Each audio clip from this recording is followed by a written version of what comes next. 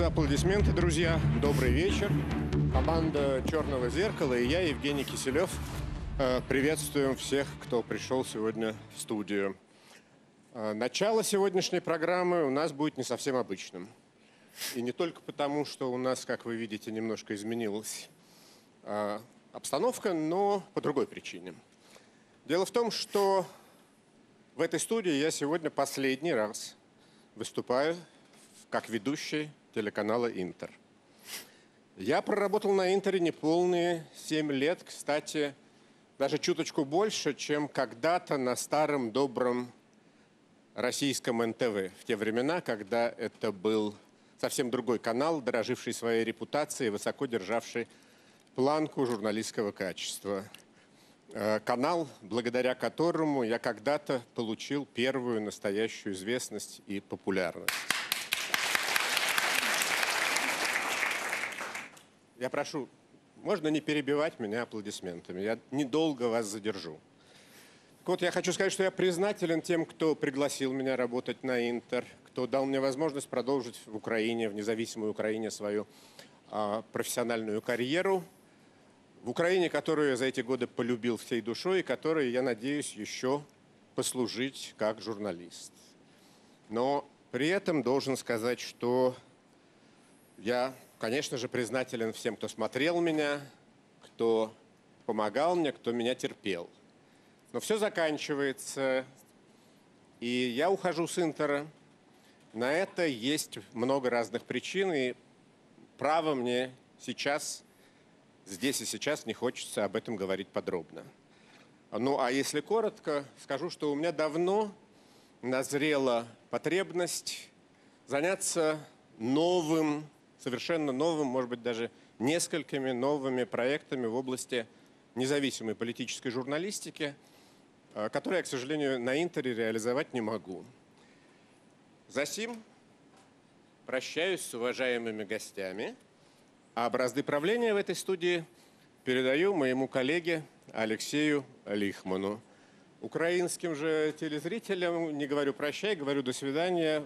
Очень скоро увидимся как говорится, в другом месте и в другое время. Счастливо. Спасибо огромное, Алексей. Спасибо. До встречи.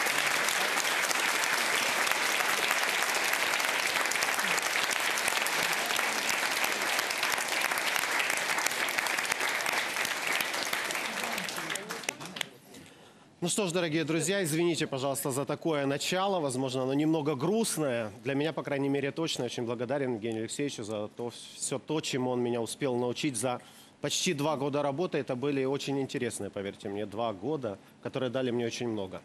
Но давайте начнем нашу сегодняшнюю программу.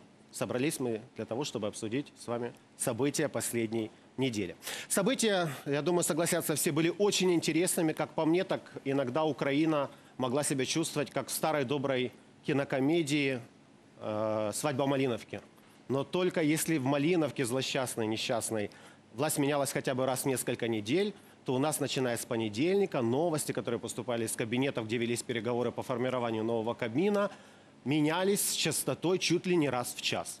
Запутать могли всю Украину, которая и до того устала от многомесячного кризиса – но ближе к концу недели нам объявили, худо-бедно собрана коалиция, худо-бедно собран Кабмин, за него проголосовали, и стране объявили, что, в общем-то, кризис преодолен. Будем ли мы жить лучше, будем ли жить веселее? Давайте с этим разбираться. И первый вопрос. Мы будем его, к нему возвращаться весь эфир. А, стало ли лучше? Преодолен ли кризис? А, лучше ли Гройсман на сегодняшний день для Украины, чем Яценюк? Кто хочет начать? Ивана, я попросил бы вас, наверное, как единственного представителя в этой студии, э, члена Кабміна нового. Дякую. Е, Я вважаю, що ми пройшли зараз і пройшли складно, абсолютно е, з величезними такими е, ухабинами, так би мовити, на цьому шляху, але ми пройшли достойно демократичний процес. Він складний, він може не такий ідеальний, не такий прозорий, як нам би всім хотілося. І нам, очевидно, всім хотілося би рухатися до того, щоб інакше формувався уряд, щоб інакше ми шукали е, коаліцію. Але е, насправді, коли так мало було е, політичних сил, які були готові на себе взяти е, далі цю відповідальність, і були інші політичні сили, які активно хотіли розхитувати цю ситуацію до дострокових виборів в тій ситуації, коли нам настільки економічно тяжко, в тій ситуації, коли нам настільки політично тяжко, в тій ситуації, коли в нас продовжується війна, і ми бачимо, що війна на сході вона загострюється. Насправді мені здається, що ми вийшли на дуже непоганий результат. Я е, розумію, що ніхто сьогодні не відчув. Знаєте, там тут колеги зі мною жартували при вході. Ну що, Івано, ти вже 24 години на, на новій посаді, де ж реформи? Знаєте, тому. Е, Звичайно, е, ніхто сьогодні не відчує тої зміни. Для нас важливо насправді дуже багато речей було закладені в попередньому уряді Позитивних ми зараз багато було внесено правильних законопроєктів, Ивана, и які о зараз наследии и положительном, и отрицательном, и о том, как вы им Ну, вы- распорядитесь, мы поговорим немного позже. О, Коротко, да, але- все же ответ на мой вопрос. І Гройсман я- на сегодняшний день – і это я спасение вваж- для Украины? І я вважаю, я надіюся, що уряд Гройсмана на даний момент буде тим кроком, який далі рухатиме реформи. Я в це вірю. Я переконана, що вся команда, яка прийшла разом з ним, точно так само налаштована. Жорстко антикорупційно і е, абсолютно на ефективність реформ. Це буде непросто, але ми розраховуємо на всіх наших колег, які лишилися в парламенті, на їх підтримку, і на їх розуміння і на діалог з ними. Спасибо за ответ. Сейчас я хочу обратиться к нашим телезрителям. С этой программы мы просим у вас вашей помощи. Вы можете влиять как на качество нашей программы, на темы, которые мы можем обсуждать во время эфира, предлагать их на нашем сайте подробностью, так и высказывать свое отношение к происходящему в студии. Верите вы тому, что здесь про- звучит, или не верите? Нам интересно ваше мнение. Пожалуйста, а, В течение программы мы будем задавать вам короткие вопросы всего с двумя вариантами ответов. Зайдя на сайт подробностью.ua, вы можете выбрать один из э, ответов, который вам больше нравится. И через, уже через несколько минут мы можем обсуждать эти данные в прямом эфире. Пожалуйста, участвуйте. Например, сейчас я бы посоветовал нашим редакторам задать вопрос на сайте простой. Кто лучше? Варианта ответа два. Гройсман, Яценюк. Обсудим эти варианты. Це якесь дивне Ирина, питання Ири- взагалі. нет, не удивляйтесь. Як, не, на удив- основі не чого уд- люди не мають удивляйтесь, пожалуйста. Не оцінювати? удивляйтесь. В этом вопросе все. Кому народ сейчас больше верит? Это такая гра. Спросите его Окей. так. Гройсману или Яценюку? Я могу Буквально сказать, через несколько кстати. минут, вы скажете, Владимир, буквально через несколько минут этот вопрос уже будет на сайте. Еще раз напомню, подробностью есть. Заходите, голосуйте. Ирина Геращенко, вы э, в нашей студии второй человек, который выиграл, в общем-то, от э, коалициады. Ну, я вас, вас поздравляю с карьерным повышением. Я считаю, что вы достойно представите нас в качестве вице- э, вице-спикера. А ваше мнение? Кризис преодолели или нет? Гройсман или Яценюк? Ви Знаєте, коли тільки що Євген е, Кисельов прощався з глядачами телеканалу Інтер, я згадала себе е, ровно 15 років тому, тому що якраз цей час і також прощалися з глядачами телеканалу Інтер. І це був дуже такий важкий крок тоді, тому що тут була стрімка е, телевізійна кар'єра, все гарно складалося, але також обставини склались так, що я вважала, що це правильно. І тоді ніхто не міг сказати, це краще для Інтера, що іде Ірина Геращенко, наприклад, з, Інтера, чи для Ірини Геращенко це правильно чи ні. Тільки час покаже. Так само, як і Ну, зараз, якщо ми показало, что вы, запитаємо. все-таки не Знаєте, проиграли. я хочу сказати, що і так само ми зараз не можемо говорити, а хто краще, ви чи Євген Кисельов. Це абсолютно безтактовне питання. Я можу- і я його... можу сразу ответить і, на і насправді, е, як, якою буде ваша програма? Це тільки глядачі дадуть оцінку. А ми тут всі європейці в цій студії, незважаючи на те, які посади ми займаємо, я сподіваюся, яких партіях ми е, є. І е, європейська традиція це давати оцінку уряду принаймні через 100 днів. Першу оцінку. Дійсно, ще не пройшло навіть 100 годин, тому я пропоную зняти з вашого сайту це некоректне опитування і е, більше опитувати, наприклад, людей про те, чого вони очікують від уряду Гройсмана, щоб він був кращим. Це буде правильно. Але що стосується того важливого дійсно кроку, який вчора зробила команда, яка показала свою відповідальність, це відповідальний крок, тому що очевидно, що суспільство сьогодні мало цікавлять прізвища у владі. Цікавить результат, цікавить дія. І чи спроможна буде ця команда, яка заявила, що вона готова взяти на себе результат, показати дію а, 100 днів? Давайте подивимося. Але що важливо тут зазначити, що в цього уряду дійсно немає 100 днів, тому що насправді ми дійсно знаходимося в надзвичайно складній економічній ситуації, в дуже непростій ситуації, де зовні наш ворог радіє, коли ми слабі. От е, е, е, подивіться, шановні глядачі, як за останні місяці загострилась ситуація на фронті. Я в мінську відчуваю от останні тижні, наскільки похабніше себе стали поводити наші опоненти. Тому що коли вони відчувають нашу внутрішню слабкість, це дає їм е, привід, знаєте, е, тиснути на Україну. І тому я хочу сказати, що дуже важливо, щоб ми, залишаючись можливо опонентами всередині країни, не були опонентами до України. А ті люди, які увійшли до коаліції, ті люди, які взяли на себе відповідальність, вони показали, що вони є е, людьми з державницької позиції. Хотелось бы просто подстегнуть для того, чтобы они это как можно быстрее показали. Вы заговорили о временных рамках 100 дней. Есть ли у Украины эти 100 дней? Это уже вопрос не Немає, к вам, але є Ирина, извините. традиція політична європейська першої оцінки давати через 100 днів. а в Какое уряду время, їх грубо немає. говоря, какое время на раскачку есть у этого Кабмина? Может ли страна ждать эти 100 дней? Александра Кужель и ваше мнение по поводу того, преодолен кризис на сегодняшний день или нет? Ну, криза як була, так і є. Е, Єдине позитивне хочу сказати два. По-перше, у нас вперше в історії незалежної України. У нас дві жінки є в президії Верховної Ради. Наша е, організація рівні можливості жінок сьогодні цим дуже горді. У нас жінка віце-прем'єр, у нас жінка міністр освіти. І я думаю, що всі дівчата повинні їх привітати, бо ми показуємо. У нас завжди чоловіки говорили. Чому чоловіки не можуть привітати? Чи І, що? ні, я, думаю, що це є наша всі, перемога. пожалуйста. Я, я колись говорила, коли ми говоримо про 30% одної статі на виборах, я говорила, чоловіки, готуйтесь, бо жінки у нас молоді, активні, і скоро 30% це може бути чоловіки. Друга приємна річ, яка сьогодні була на питаннях уряду, відверто хочу сказати. Я е, знаходжусь в опозиції. Хочу підкреслити, що, мабуть, за всю незалежну історію України у нас перша проукраїнська опозиція, і це є дуже важливим. Що ми е, і влада, і опозиція все ж таки маємо проукраїнський нап- напрям і проєвропейський. Але що було приємно, це реакція прем'єр-міністра. Він слухав, про що ми говорили. Дуже активно зразу була його реакція. Наприклад, питанням про відсутності ліків для онкохворих дітей.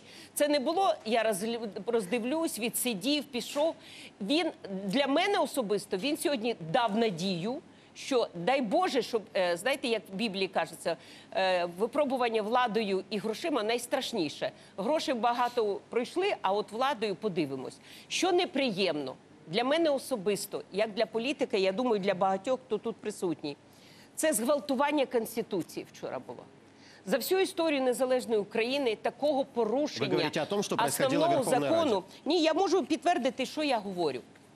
У мене на руках є три постанови, зареєстровані в Верховній Раді, які під- підписав президент України. Для мене це є важливіші дуже документи. Це постанови на призначення пана Гройсмана, пана Клімківа і е, міністра оборони. Ми повинні були згідно конституції голосувати. Але на сьогоднішній день, об, тому що по конституції президент їх подає. Але проголосована постанова, яку підписав Бурбак і Юрій Луценко. Це є незро... Их уволили после того, це, нас це, це незрозуміло. По-друге, коли ми звільняли членів уряду через 5 хвилин, яких призначили. Якщо дивитись по е, е, юридично, то ми можна сказати як Александра, угодно. давайте зри- ближе к зрителям объясним им просто, что это может означать на практике. Ну е, відверто хочу сказати, що е, ну можна звертатись до Я, мог- конституційного я как суду. гражданин Украины, например, могу оспорить это назначение в Можете, суде? можете, бо як гражданин України два чоловіка оспорили наші з вами е, норми споживання газу і повернули Кабміну великі норми споживання. Але хочу сказати, що далі продовжувалось. Найнеприємніше було прийняття е, поста, програми уряду. Е, Це була така спішка, тому що є норма, яка передбачає, цей уряд повинен її проголосувати. Де. Вони її не проголосували, не розглядали. Потім вони повинні подати їх на комітет економічної політики пана Іванчука, і потім ми повинні були розглядати їх в залі. Це можна Александра, було вы уже зробити немного на наступному перескакиваете. тижні. Это вопрос уже ближе к жизнеспособ... э, к- о жизнеспособности Я коалиции. Я, хотел бы завершую поговорить останнім об этом реченням, немного що, позже. що, ми- що мені неприємно. Дай Боже, щоб це були останні порушення, які цей новий уряд собі дозволить. Тому що якщо і далі таким чином буде протягуватись будь-які реформи або закони, це путь в нікуди. І о, я хочу ще одну хвилину сказати, чому у мене нема поки очікувань. Тому що е, дуже відомий статист Медісон сказав, що є такі страни, які звер ростуть наверх економіка, а які спадають донизу. От те, що спадають економіка донизу, і до яких відноситься Україна, називаються країнами калії.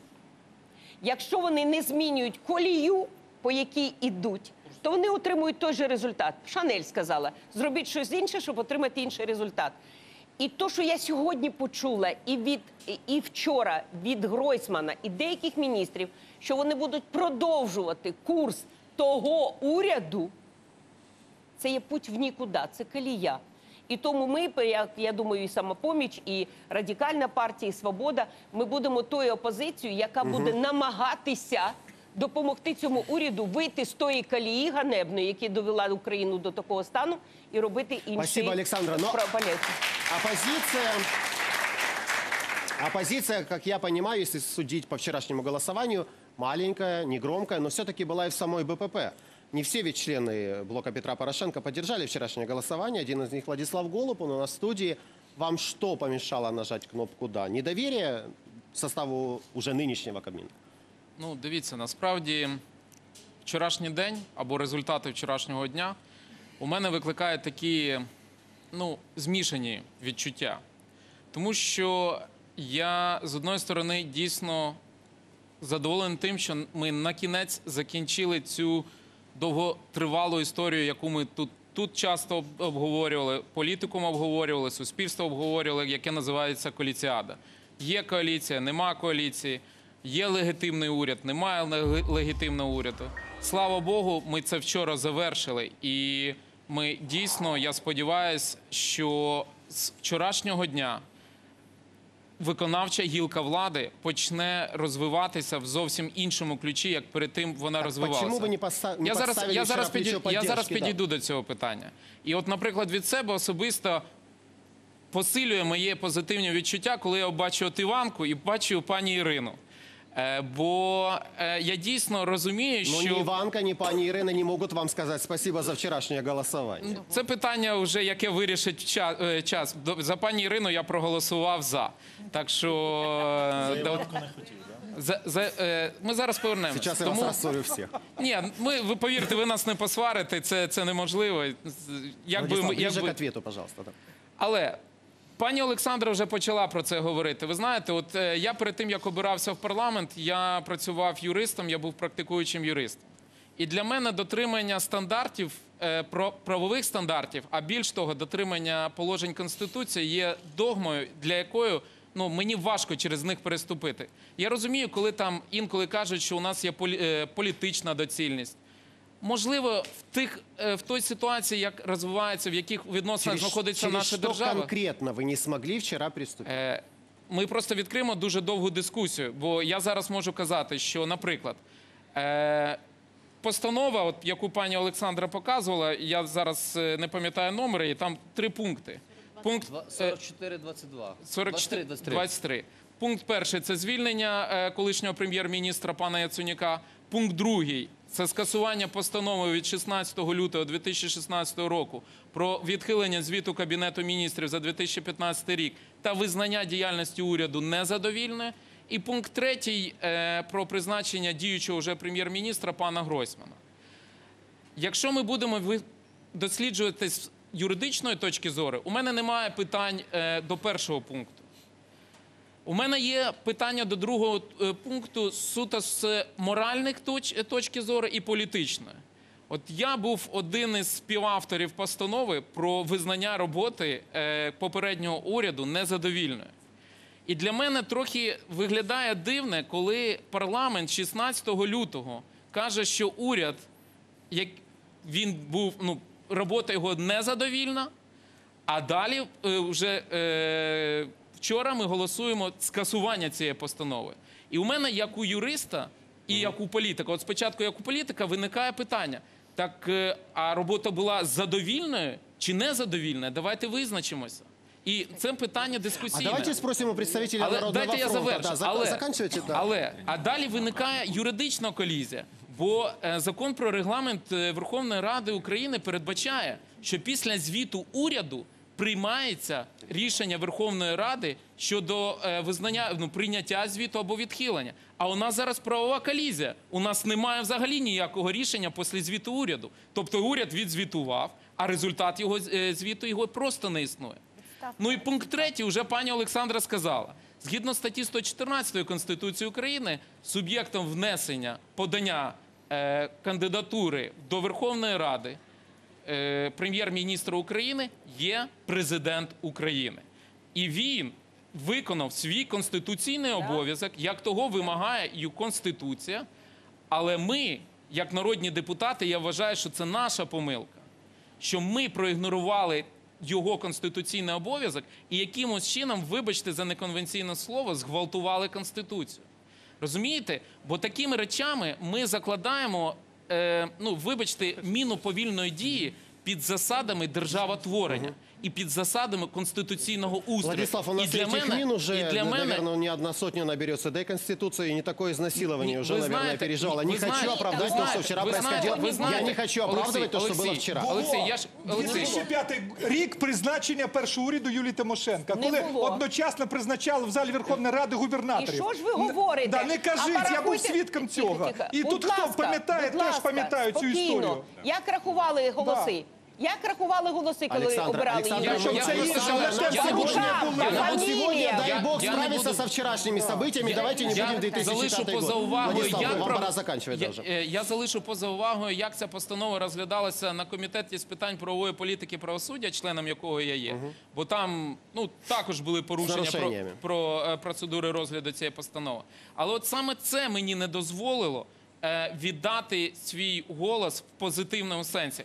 Хоча, якби голосування за Володимира Борисовича Гройсмана було виконано в належний конституційний спосіб, повірте, мій голос був, був би за. Спасибо. А теперь Игорь Гусь пусть нам объяснит за Арсения Яценюка, почему вашему лидеру было так важно, чтобы переписали, грубо говоря, результаты его экзамена прошлогодние, когда, в общем-то, Верховная Рада поставила ему двойку за его премьерство. Ну, цьогорічно, це 16 лютого було. Значить, короткі Але за тези. роботу Перше, минулого року. ми За мали, роботу минулого, ми так. мали два сценарії розвитку подій в парламенті. Перший ні про що не домовляються політичні сили в парламенті, і ми йдемо на перевибори. Про це ми були проти, і про це говорила європейська світова спільнота, що вона вважала і закликала все-таки нас домовитись. Тому ми пішли по другому сценарію, взявши відповідальність. Це колеги з БПП і Народного фронту. В неділю Яценюк подав відставку. Чотири дні нам було потрібно, фактично три понеділок, вівторок, середа, для того, щоб домовитись. Всі казали, давайте швидше, але все-таки єдиний мінус невеликий, хоча можливо і великий, що колеги з блоку Петра Порошенка не запропонували кандидата на посаду міністра охорони здоров'я. Це важлива ключова посада, але я думаю, що найближчим часом, можливо, на наступному тижні ми все-таки е, оберемо е, міністра е, охорони здоров'я. Другий момент. Е, Ми обрали не тільки Володимира Гройсмана і Кабінет міністрів, ми обрали нове керівництво Верховної Ради. До речі, Народний фронт голосував як за Гройсмана, Игорь, простите, так вы і нам, за вы пана нам Парубія. хронологию всей недели хотите рассказать? Мы за этим следили внимательно. Я зрозумів. Я просто На хочу вопрос сказати ответьте, про те, що пожалуйста. зараз про те, що найбільшу кількість голосів отримав Андрій Парубій на посаду голови Верховної Ради. Тепер стосовно вашого питання. А, Дуже просто. Наша позиція була наступна: 16 лютого і рік перед цим дуже багато політичних сил, олігархів, представників е, різних структур. Згадайте травлю на телебаченні, згадайте бігборди, які були розвішані по е, всьому Києву і перед Києвом. Згадайте е, проплачені наметові містечка, де ніхто не жив. Три бомжа, вибачте, в кінці, от зараз подивіться, сиділо. Дозвольте, я, я не перебивав. Пане Каплін, я вас не перебивав. І це говорилося, все робилося для того, щоб скинути уряд Яценюка. Зараз більшість в парламенті проголосувала за третину міністрів які працювали в уряді Яценюка, і ми їм довірили Игорь, далі я пытаюсь працювати через в эти цьому. дебри пробиться к ответу на мой вопрос. Вы помните Дуже, вопрос? дуже проста Для відповідь. чого вам та вопрос ви бумажка? помните? Дуже проста відповідь. Зачем вам эта бумажка Да. с, с Что я ценю, аннулированием мы Ми хочемо голосования зробити, вважали, Зеленского? скажіть. що це необ'єктивне рішення по відношенню до уряду Арсенія І тому Яценюка. шантажували І ми цим. переконали своїх колег підтримати рішення. Фактично, це рішення Ну, про ну, це незадовільну його роботу. я тепер не Це визнано займана. нелегітимним. Можна я відповім, що це було? Тому дайте Секунду. Я вас, колеги, я вас не перебивав. Якщо ви хочете, щоб я пана Капліна кожен день перебивав, то пане Каплін, він мене не переб'є. Знаєте, як називається? Колеги, я докажу ту інформацію, яку я хочу доказати. Я щиро вдячний. Ще півтори хвилини. Я дуже бачу, як перезбуджуються колеги, коли додають мені слово. Ви задали питання, я дам відповідь. Тому в нас було два варіанти подій. Зараз я очікую, що в нашому парламенті, а ми розуміємо, що 227 голосів нинішньої коаліції це дуже нетривка 206. коаліція. 226 голосів. 206. Я розкажу Мы вам о про составе рішення. качественном еще поговорим. Не Про перебивайте, те, пожалуйста. що коаліція, наприклад, запропонувала Ірину Геращенка і Андрія Парубія, в парламенті це рішення підтримали 284 депутати. Тому ми можемо голосувати за потрібні рішення. У мене є заклик до радикальної партії Батьківщини і самопомічі. Якщо ви вважаєте, що ви конструктивна опозиція, ми просимо вас, тому що як зараз нас дивляться мільйони людей. Ви думаєте, хтось з них думає? Це дуже важлива процедура. Я згідний. Були помилки в процедурі. Можливо, хтось буде поставати до Конституційного суду. Я з цим згідний. Ми помилилися в багатьох моментах. Ви к заклику Але вже якщо ви перейдіть, думаєте, пожалуйста. що люди сьогодні думають про процедурні питання, ви глибоко помиляєтесь. Люди хочуть, щоб цей уряд запрацював. Взагалі, люди хочуть, щоб влада запрацювала. Ми сформували владу. Ми взяли відповідальність на себе. Я закликаю проукраїнську опозицію підтримувати наші дії тоді, коли вони будуть корисні українському народу. Але не бути деструктивною опозицією. Коли сажати палки в колеса, аби було гірше коаліції, гірше країні, а краще тим політичним силам, які сьогодні є в опозиції. Спасибо, Це Сергей. дуже важливо. Раз уж вы заговорили про людей, одну минутку. Раз уж вы заговорили про людей, я попрошу вывести э, нам на стену результаты предварительные нашего мини-опроса о доверии. Кому доверяют больше сейчас украинцы? Яценюку или Гройсману? Мы можем это сделать? Ну, посмотрите, в принципе, это не репрезентативный, Могу, понятно, я могу опрос, репрезентативные но, данные но зрители Давайте программы на данный момент, они больше полагают надежд на Репрезентативные данные Гройсмана. подтверждают, подтверждают Это эту под- ситуацию. э, Я могу ситуация сказать, с сегодня, похожая, да? сегодня были оглашены данные соцопроса рейтинг, службы, соцслужба рейтинг. Согласно этим данным, полностью позитивно Гройсману доверяют 2%, скорее позитивно 13%. Яценюку 1% полностью доверяет позитивно, ну полностью позитивно, и э, 6% лишь частично. Поэтому э, немножко другая пропорция, но на данный момент, э, конечно, Гройсману доверяют несколько больше. Спасибо. Сергей, я вижу, что вы очень хотите я парировать хочу ответить на Игорю. вопрос но я коллеги хочу сразу товарища. же вам сказать, что вы вчера были одним из тех, кто переписал оценку деятельности Яценюка. Я ошибаюсь? Я сейчас скажу вам, что Вы это было. проголосовали Да, в том да. числе и за то, чтобы признать его работу удовлетворительной. Давайте, я отвечу. Да, да. Я помог йому в одній операції. Послухайте. Давайте. Що це було? Пояснюю. Є такі дівчата Будьте не лох. а, Так. або жінки, Ти пам'ятаєш, да, які що у нас тут роблять е, операцію, політика відновлюють собі а, цноту, дівственність. Сергей. І це зробив Яценюк в політичному розумінні. Він шантажував, зґвалтував весь парламент, поставив умову, або ми всією цією братвою йдемо на вибори, і ніхто в парламент не заходить, бо там будуть нові партії. Саакашвілі, партія простих людей, опоблок багато набере. Або ви голосуєте оцю бумажку, якою готовий кожен українець, ви знаєте, що зробити, про те, що ми визнаємо його роботу гарною. Я не міг собі дозволити, як людина, яка два роки боролася проти того, хто зруйнував країну, проголосувати за те, щоб продовжити далі йому бути на своїй посаді. Тому я проголосував. Але я проголосував проти цієї біржі праці, а не Кабміну, де аж шість міністр, шість віцепрем'єрів на фоні зниження, зменшення, е, е, чи на фоні того, як відправляють вчителів, лікарів в безробіття. Але я проголосував проти програми, яка є програмою для олігархів і написана олігархами. Нам сьогодні потрібна абсолютно інша програма і абсолютно новий курс. Яценюк був на посаді 777 днів. Він зірвав джекпот. Очень Вкрав хорошо, що не мільярди, 666. мільярди доларів. 777 днів. Я спеціально порахував. в цьому Вкрав мільярди доларів. Я вважаю, що криза буде подолана тільки в тім, в тому випадку, коли ми закінчимо ті дві тисячі справ, які сьогодні знаходяться у Генеральній прокуратурі по оточенню Яценюка. Коли ми з вами доб'ємося відповіді у Генерального прокурора і суду, чи винен Яценюк і його оточення в розкраданні державного майна, в руйнації держави? І я вам хочу оголосити, що наша політична сила, партія простих людей, оті палатки, про які ви говорили, і ту команду, Ви яка боролася за зняття? Яценюка, переносить під Генеральну прокуратуру. І я там вимагатиму, щоб Яценюк був покараний. Порядок в країні Понятно, почнеться тільки Сергій. тоді, коли кролік буде сидіти у клітці, а не гулятиме розповідатиме нам, як жити. Спасибо. Да, Николай, сейчас дам слово. Мы немного, мы немного меняем ракурс темы. В выступлениях Иваны, Ирины. Делаем небольшой поворот. Ирина, вы все время на меня так удивленно смотрите, я начинаю Я волноваться. даже. просто з подивом дивлюсь на своїх колег, не на вас. А, э, вы, И- Ирина, и вы, и вы, Ивана, Владислав, Игорь говорили о том, что у нас есть коалиция, и которая вчера, в общем-то, выдвинула новый состав Кабинета министров и премьера. Я хочу спросить у зрителей второй мини-опрос. А, Что вы думаете по этому поводу? Есть ли на сегодняшний день в Верховной Раде коалиция? Вариантов ответа очень немного. Да или нет, все очень четко. А, Кто вчера, в общем-то, м, выдвинул и проголосовал за премьеров? Коалиция или ситуативное большинство? Кто готов ответить? Можно? Пожалуйста, Михаил. Потом Добрий следующий вечір, Николай Скорик, да. студія. А, Ну, звісно, що е, нас вчора, окрім того, що зґвалтували Конституцію, обурило той факт, що ми в черговий раз побачили, наскільки е, Конституція є тим документом, яким дійсно можна сходити хоч би в якесь одне місце. І ми показали в черговий раз, що ми не є європейською країною, що ми більш схожі на диких варварів, азіатів, які байдуже, що написано, головне зробити так, як їм хочеться, особливо хто при владі. азіатів. ну я хочу сказати, що е, суть в іншому. Е, Давайте так. Я говорю за конституцію. З конституцією зґвалтували. Що на рахунок коаліції? Коаліції її немає. Де-факто є дві партії, які це е, Народний фронт, 81 депутат, і є 136 депутатів блоку Петра Порошенка. Разом це 207 голосів. За голосування Гройсмана проголосувало 206. Тобто інших о, 226 голосів ніяких немає. Ніхто не представив нам нову коаліцію.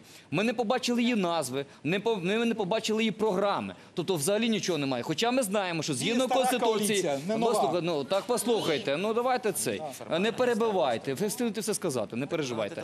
Ми взагалі нічого не побачили. Ми розуміємо, що взагалі нам не приз... е, навіть не предоставили ті списки і не представили, хто входить в коаліцію. А ми знаємо прекрасно, товариство, що коаліція подає кандидатуру президенту згідно конституції е, пр- пр- прем'єра-міністра, яку він вносить в парламент. Того ми вчора теж цього не побачили. Тобто, ми де-факто коаліції немає. Порушена 90 стаття Конституції України. Президент мав би право вже розпускати цей парламент. В нас говоримо про те, що сьогодні парламент обрав прем'єра, якому немає конституції, обрали уряд. Все це зроблено з єдиною метою. А За будь-яку ціну понял, єдине лише, Давайте щоб не піти на вибори. Правильно говорите. Вас вчера кто, за вас вчера кто проголосовал? Отреставрированная старая, вос- э, ожившая как Феникс, или новосозданная коалиция? Давайте я скажу, вчора дві Михаил, вы 39, Ирина будь или ласка, Ивана? Простите, я дам вам 39 слово депутатів позже. від Я партії дам вам регіонів слово проголосувало позже. за нову Спасибо, ЦВК. вы это уже раз- Ну, назвали. я би, по-перше, закликала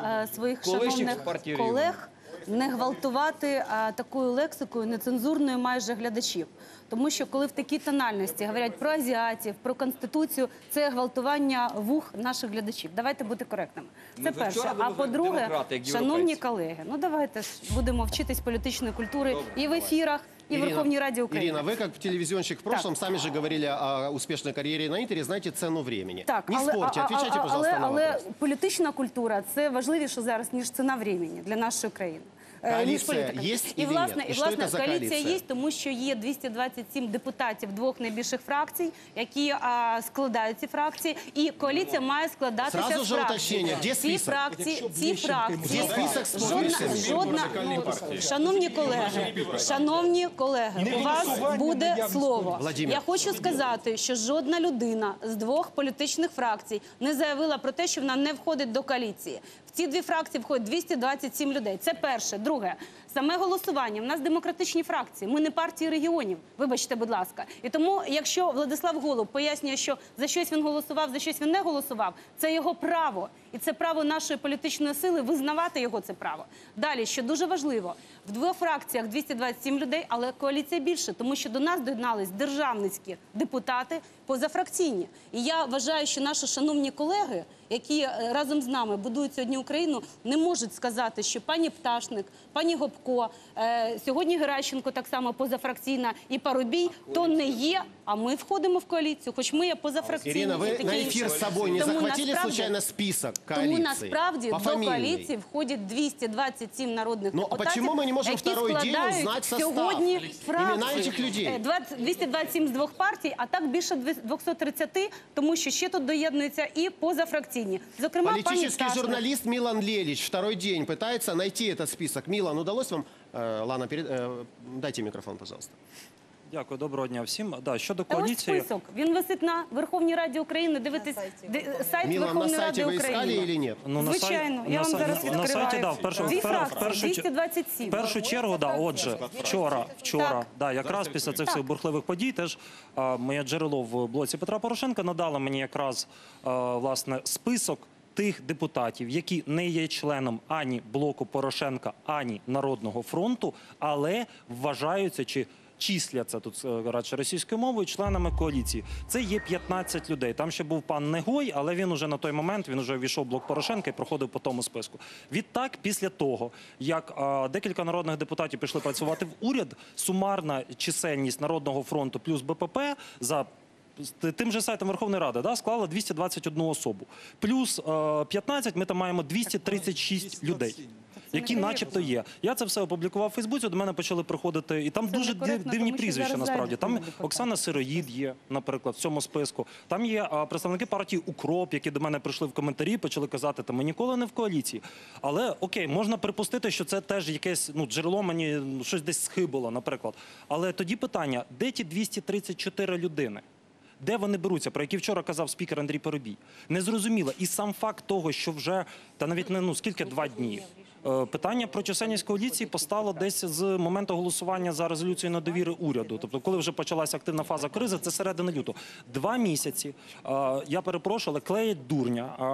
е, Керівництво Верховної Ради і апарат, секретаріат Верховної Ради і не можуть просто оприлюднити базову річ. Є список людей, які взяли на себе відповідальність керувати країною, які призначають чи не призначають уряд. Цього немає. Якісь відмазки про те, що не утворений секретаріат коаліції, чи перекидають один одному е, ці запити і так далі. Ну треба якось е, це вирішувати. Я Понятно, дуже Мілан, сподіваюся, спасибо. що нове керівництво ради м, е, в Ну, цьому пока плані уже буде микрофон в відкритіше. вашем секторе, передайте его Тарасу, пожалуйста. Тарас, мы вас Е, слушаем. Ну, що, що стосується коаліції, ну давайте будемо чесними. Формальної коаліції не існує, яка закріплена паперами, як це коли було, коли обирався цей парламент.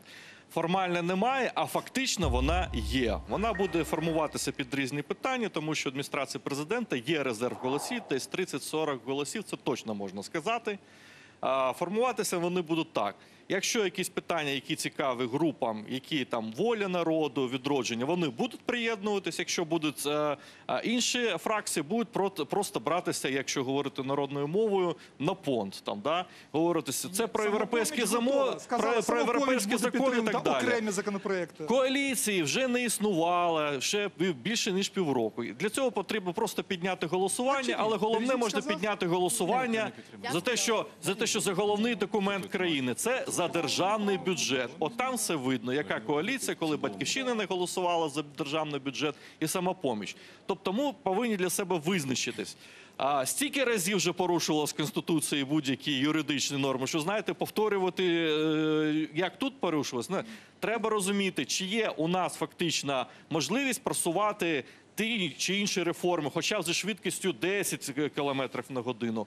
Можна зараз сказати, що де-факто, якщо захочуть, особливо адміністрація президента, коаліція запрацює. Якщо не захоче, не запрацює. От моя відповідь на це Ну, все запитання. мы знаем, что иногда временное бывает более живучим, чем постоянное. Ну, так оно да? уже півроку и, так, в принципе, оно уже півроку так ситуативная працює, так. коалиция, возможно, и сможет что-то хорошее сделать для страны. Да, Николай, вы уже давно руку тянете. Э, Большое спасибо. Э, Я, во-первых, хотел э, поздравить э, представителей и нового руководства Верховного Совета и э, нового руководства Кабинета министров э, с назначением. Я думаю, что э, и пожелать им успеха. Я думаю, что их успех, который бы почувствовали граждане Украины на повысившихся зарплатах, на пониженных тарифах, на растущей экономике, э, я думаю, что это успех э, всей Украины. Я думаю, что э, этого успеха желают все. Вы к ним не хотите перейти случайно? Извините. Господин Фисенко, вы себя Я ведите прошу прилично, прощения, пожалуйста. Прошу прощения. Ну так вы говорите.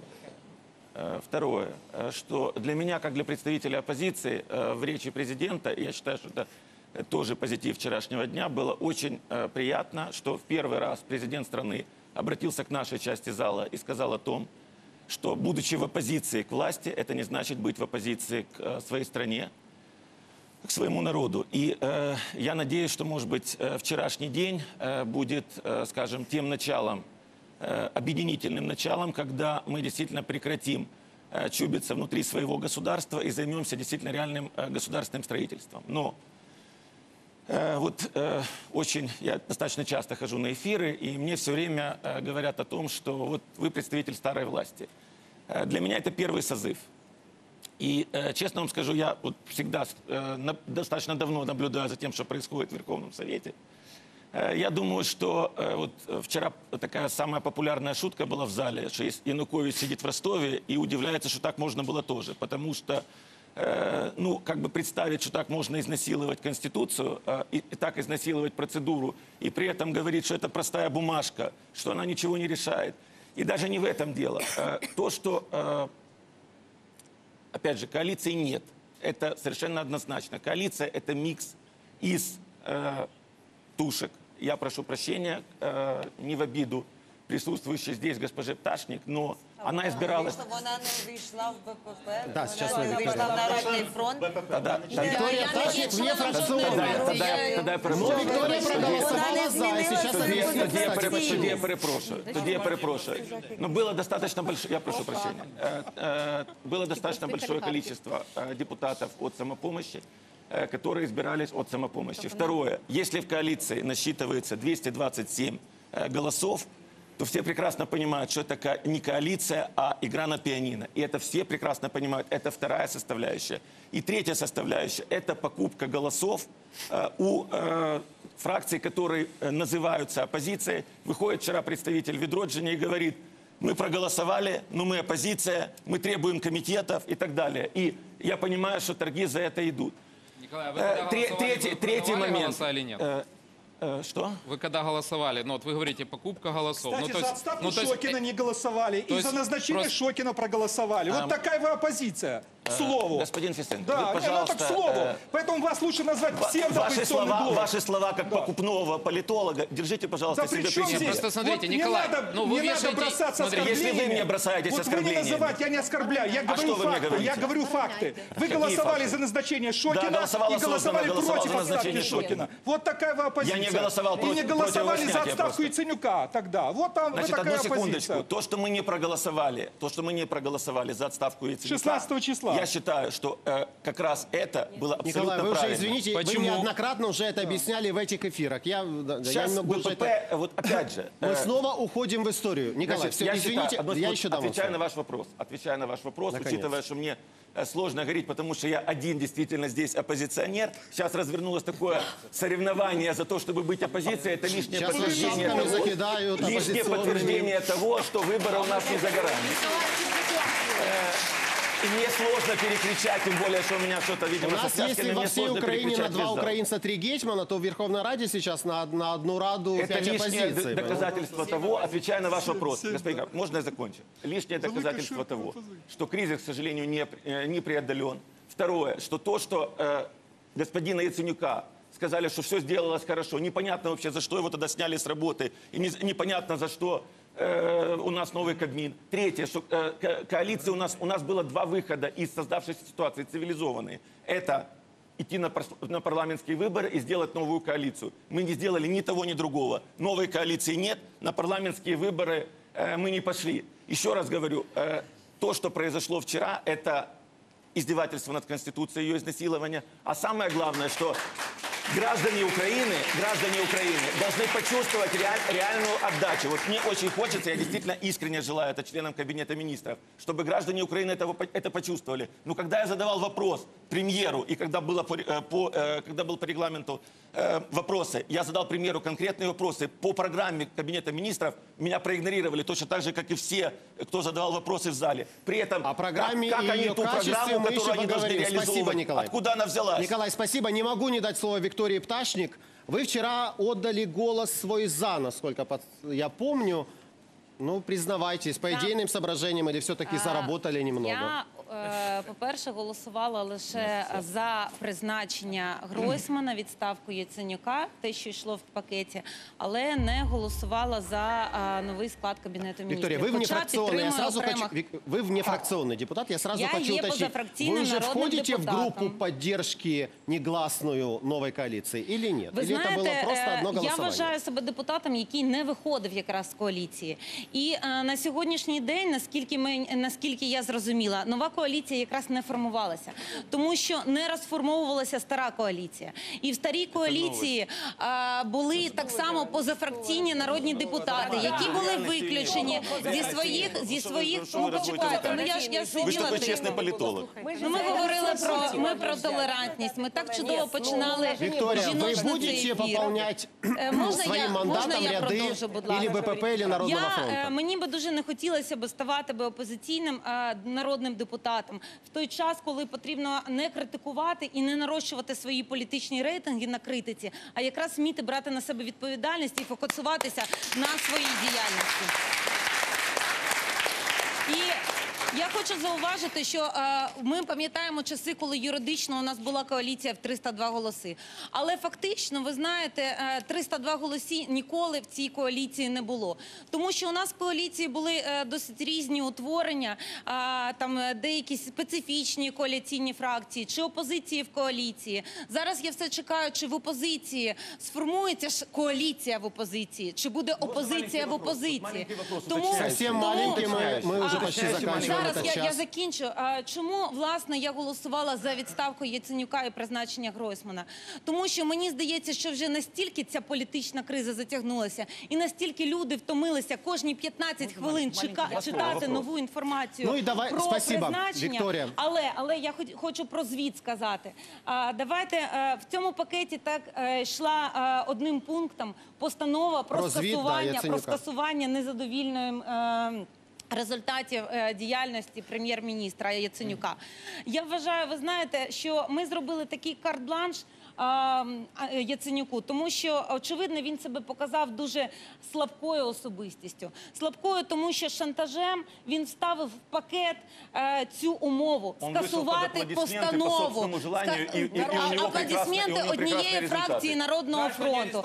І давайте будемо відверті. Якщо б ця постанова йшла окремо, то за неї би проголосував про скасування цих результатів. Спасибо. Один народний Нет, Александр, фронт. извините. И немного прочитаю. позже, Смотрите, немного позже, нельзя. Это немного контексте. позже. Контексте, Подытоживая небольшой отрезок нашей программы, мы возвращаемся к голосованию, к вопросу, который мы задали нашим э, посетителям сайта подробностей и зрителям, которые нас сейчас смотрят. Удалось ли вам убедить зрителей в том, что коалиция существует? Да или нет? 88% на эту минуту не уверены в том, что на сегодняшний день в Верховной Раде есть коалиция. Простите. Три секунды, Александра, Одна, не, и... одна секунда. Я прочту просто высказывание одного человека в продолжение того, что нельзя критиковать власть. Враг народа не только тот, кто вредит, но и тот, кто сомневается правильности линии партии. Лаврентий Берия. Спасибо. Куда вы нас Новые тянете, цитаты, дорогая новые моя? вопросы зрителям Куда? и гостям в Вы следующем это же часе хотите? программы. Спасибо.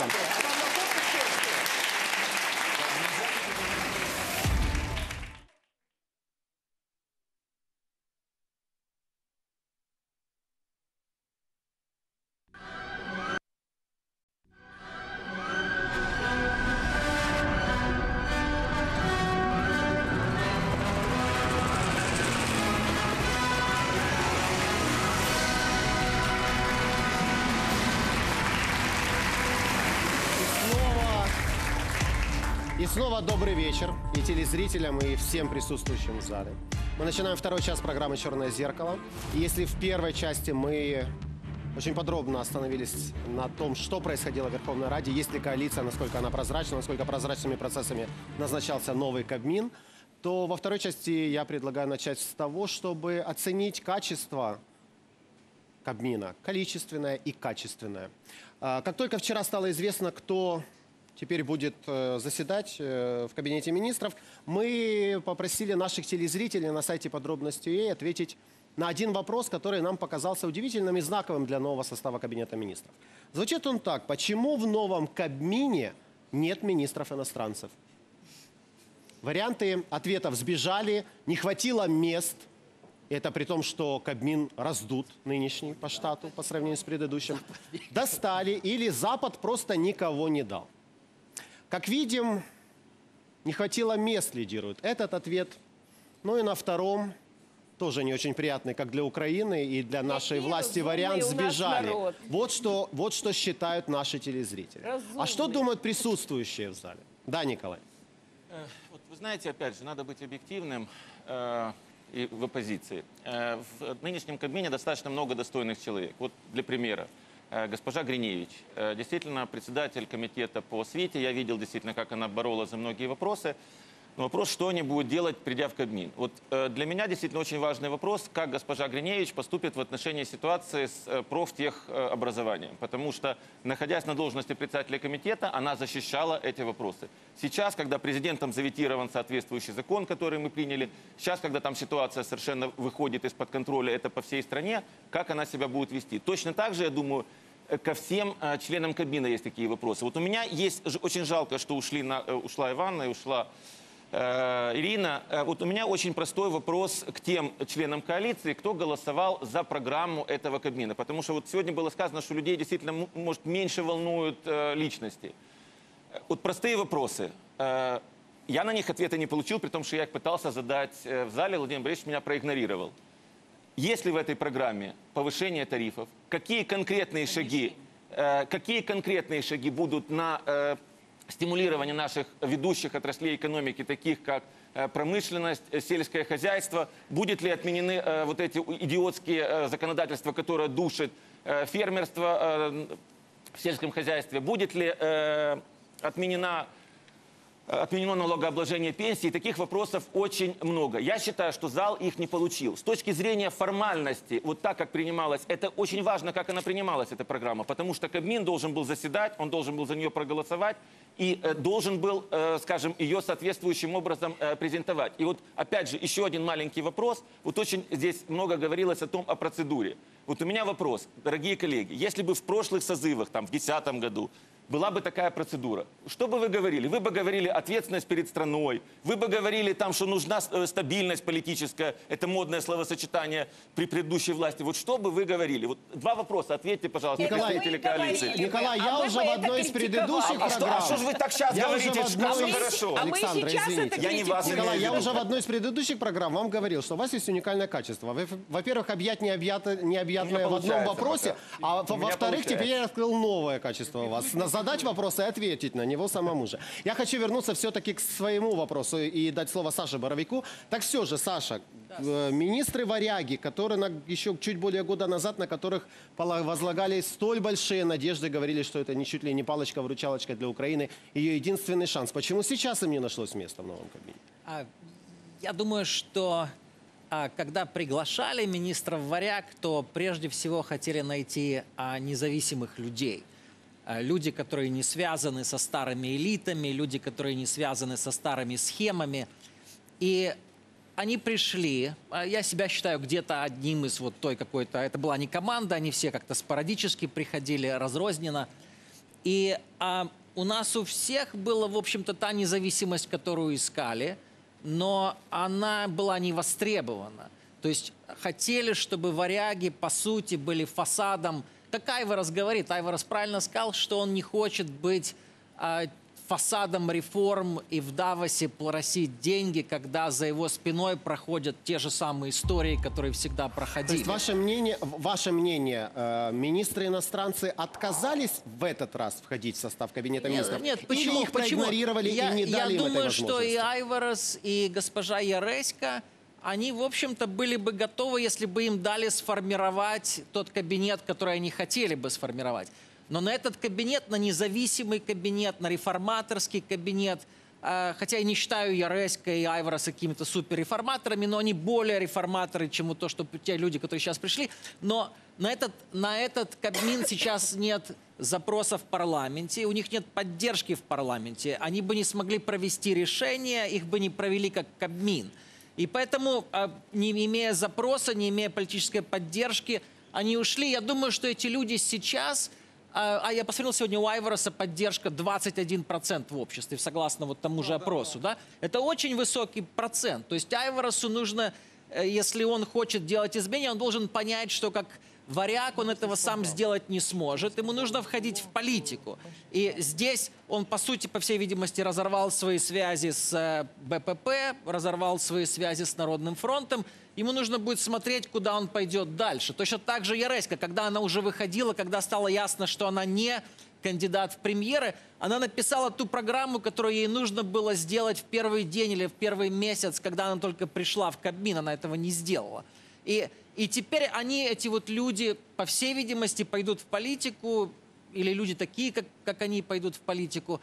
А, и, в общем-то, мы сейчас показали, что вопрос не столько в самих варягах, сколько должны быть независимые Вы новые предполагаете политики. сейчас, когда говорите о политике, их походе в политику, или что-то знаете? А, нет, я не знаю. Не ничего, знаете, да? нет. На Он не это, может, на... не может баллотироваться. Вот есть проблема. Кто? Э, Айварес. Нет, нет, что я думаю произойдет. Я вам скажу, как, мы на это смотрим. э, Потому что мы в той же позиции. Я думаю, что появится новая политическая сила. Но, кстати, которой- на такое себе, э, ну, понятная мысль, Саша, спасибо. На это, ну, не то чтобы изгнание, но исключение, скажем, да, варяг э, из э, нового Кабмина, очень активно отреагировала благосфера, писали непростые пользователи. Я помню пост Мустафы Наема, э, Владислава вашего соратника по БПП, о том, что системе удалось, ну, не, не ручусь за точность цитаты, съесть, грубо говоря, э, всех реформаторов, на которых возлагали так много надежд. Вы съели реформаторов, когда Игорь и вы, представители новой коалиции, как вы заявляете, вы осознанно не исключили из нового состава Кабмина э, иностранцев или нет? Да. Дивіться, от давайте подумаємо, хто був керівником уряду при цих іноземцях реформаторів? Не Яценюк? Ви розумієте, от у нас така ситуація є, да? все було погано, все було. Але саме Яценюк не побоявся їх запросити. Я вважаю, до речі, ні від Яресько, ні від Абрамавича. ні Игорь, від я, Квіташвілі конечно, могу ви страдать не чули- провалами в памяти, но, насколько я помню, это была личная инициатива только президента Украины. Не знаю, з- чия була І ініціатива, Ложкіна. але Арсеній І глава Яценюк адмі- очолював уряд, де вони працювали. До речі, вони пішли і жодного поганого слова про Яценюка не сказали. Зараз формував уряд фактично блок Петра Порошенка, президент Порошенко і Володимир Гройсман. До речі, я хочу сказати, як член коаліції, який голосував за цей уряд, всім повинно бути зрозуміло в нашій країні, що повна відповідальність за економічну ситуацію в країні несе в першу чергу навіть не Гройсман, а Петро Олексійович Порошенко. І це повинні всі розуміти, тому що що він вчора сказав, що він модератор, да? Ну ми це бачили, що він насправді не модератор. Він декілька разів переконував е, Гройсмана, і ми були на грані. Тому що ви можете критикувати Народний фронт, але я вважаю, наша команда поступила е, відповідально. Яценюк написав заяву в неділю. Ми висунули своїх кандидатів, до речі, від наших колег. Ми не чули публічно ніде великих Ну, зауваг. кстати, я бы і хотел ми отметить, что 100% на- віддали. я бы хотел, кстати, отметить в плюс вам, что на этой неделе, согласитесь, никто со мной не поспорит, Народный фронт выглядел м, более монолитно, это я бы сказал даже не более, а просто монолитным Они были раньше. э, членом этой коалиции. Я в скажу то вам время, таку когда річ, що БПП дивіться, раздирали ми фактично скандалы и интриги, вы, 95% конечно... віддали голосів. І ще раз скажу, можна дивуватися, в нас є принципи, да? Тобто нам було достатньо важко. Ми, мали, ми маємо і зараз багато претензій до наших колег. Маємо, до речі. Але ми сказали, щоб спасти країну, чесно, щоб не допустити виборів, ми не виносимо це назовні. І можна довго це говорити, і це наш принцип. Тому, завершуючи, все-таки я вважаю, що треба віддати належне по вашому питанню. Ці люди працювали з Яценюком, іноземці. І ще раз кажу, якби вони пішли з скандалом і сказали, що вина на Яценюку, вони цього не зробили. Запитайтеся, запросіть їх, до речі, сюди в цей зал, вони вам скажуть. Давайте пока спросим у Владислава. Владислав, почему вы решили их не оставлять в новом составе Кабмина? Дивіться, е, ми знову ж тепер повертаємося до е, того, як був сформований уряд Володимира Борисовича Гройсмана. І як ви вірно зазначили в першій частині нашої передачі, що під час голосування за формування уряду мій голос також е, був відданий як утримався. І на це було декілька причин. Зокрема, е, перша причина, про яку ви казали, про те, що коли ем, формувався уряд, і я думаю, що це була публічна інформація, і це все було в публічній сфері. Ми знову отримали квотний уряд. І по великому рахунку ми наступаємо на ті ж самі граблі, які е, були зроблені у 2014 році. Бо я вважаю, і моє таке глибоке переконання є, щоб для того, щоб уряд був успішний, якщо коаліція визначає якусь певну особу на посаду прем'єр-міністра, то що би я зробив, і як правило показує практика європейських країн і країн з європейської демократії, цій особі має бути наданий карт-бланш на формування повного уряду, бо він далі буде несе повну відповідальність. А що ми побачили, коли формується уряд, а нам кажуть. Вибачте, Міністерство внутрішніх справ ми не чіпаємо, бо там є пан Аваков, і це взагалі священна корова, її чіпати не можна. Міністерство юстиції ми також не чіпаємо. Там є Павло Петренко, Сергій. і це теж ми е, е, це навіть не може обговорюватися. Бо ми знову ж таки наступаємо на ті ж самі граблі. По великому рахунку, попри те, що от в складі уряду є дійсно люди, фахівці, фахівці з великої е, букви, які я вважаю, що зможуть в, свої, в своєму напрямку зробити ті реформи. Але попри, те, е, попри цей факт, що е, дійсно я не побачив певної реформаторської складової, я побачив знову ж таки квотні принципи. І ну, щоб не відкривати довгу історію, і бо це ще на думаю на півпрограми про те, як це взагалі сюр, як внеслася ця постанова, яка внеслась народним депутатом України Гройсмана, а не прем'єр-міністром Гройсмана. Саме ці три е, причини бу- лягли в тому, чому я утримався під час голосування за Ну за и уряд. От Ярецка я перейду к другому вопросу. Я хотел бы просто отметить э, поведение Натальи после ее отставки. Этот человек, в общем-то, э, будучи уволенным, отправился в Америку для того, чтобы для Украины выбить денег у МВФ. Она поехала на эти переговоры, хотя, согласитесь, могла поступить совершенно по-другому. Я не знаю, как я бы поступил в ее ситуации. Отдельно я хотел бы отметить, что новоназначенный министр финансов Украины почему-то на весенний саммит МВФ и Всемирного банка решил не ехать. А, Сейчас мы немного узнаем, светят ли Украине деньги от МВФ. А, С нами на связь выйдет мой коллега, наш специальный корреспондент в США Тихон Зятко. Тихон, я тебя приветствую. Ты был, ты присутствовал на, э, слышал все заседания этого саммита. А, не- Уже дважды за последние два дня со стороны МВФ в адрес Украины прозвучало заявление, и Кристин Лагард в том числе, главы МВФ, о том, что в принципе фонд готов сотрудничать э, с кабинетом министров э, Вадима Гройсмана, Владимира Гройсмана. А, как ты услышал эти слова? Это были сдержанные обещания или полный оптимизм? Ну, вот, грубо говоря, для простого украинца, нам светит очередной транш или нет? Свет в конце. Ну, Я бы сказал, что подобным образом светит ли очередной транш, когда будут деньги. Подобным образом вопрос здесь, вот на этой встрече МВФ, не ставится и не стоит. И э, во всех комментариях и Кристин Лагард, и президент, и глава Европейского департамента э, Международного валютного фонда очень сдержаны. Они говорят о том, что да, не- несомненно, новое украинское правительство есть, это позитивно, но давайте будем смотреть, как дальше будут развиваться события. Глава Европейского департамента сегодня говорил, что прежнее правительство давало определенное количество обязательств. Давайте дождемся, подпишется ли под этими же обязательствами новое правительство. Если это произойдет и реформы будут дальше проводиться, то э, в скором времени будет пересмотрена программа в отношении Украины и, соответственно, будет очередной транш. Все это может звучать оптимистично для кого-то, но на самом деле это в некотором смысле такие общие слова, суть которых заключается в том, что э, сотрудничество не прекращается, сотрудничество продолжается, однако никакой конкретики, никаких данных о возможных сроках выделения нового транша нету, поскольку после встреч здесь и главы Нацбанка, и а, госпожи Ерейска с представителями МВФ и с представителями американского Минфина будет еще миссия МВФ в Украину. Когда все это произойдет, сказать сложно. Поэтому люди, которые рассчитывали, что вот сейчас правительство сменится, и после этого в МВФ все скажут, ну, наконец-то, и буквально завтра выдадут, а, выдадут очередной транш, этого, этого не будет, этого не произойдет. Предстоят еще долгие реформы, предстоит оценка их а, представителями Международного валютного фонда, и лишь после этого можно будет говорить о конкретной дате, когда транш будет э, Украине выделен. То есть от нас по-прежнему ждут не новых имен, а реформы и действий. Понятно. А, Тихон, второй у меня вопрос. Вот ты сказал о том, что там ждут, э, хотят познакомиться с новой властью. А не удивило ли никого отсутствие новоназначенного министра финансов на этих встречах? И как отреагировали, в каком статусе вообще была госпожа Яреська на этом саммите? Ну, что касается нового, а, нового кабинета министров, в частности, а, нового министра, нужно понимать, что вообще очень, я бы сказал, конкретного разговора по- про Украину, за исключением двусторонних встреч, здесь не то чтобы и ведется.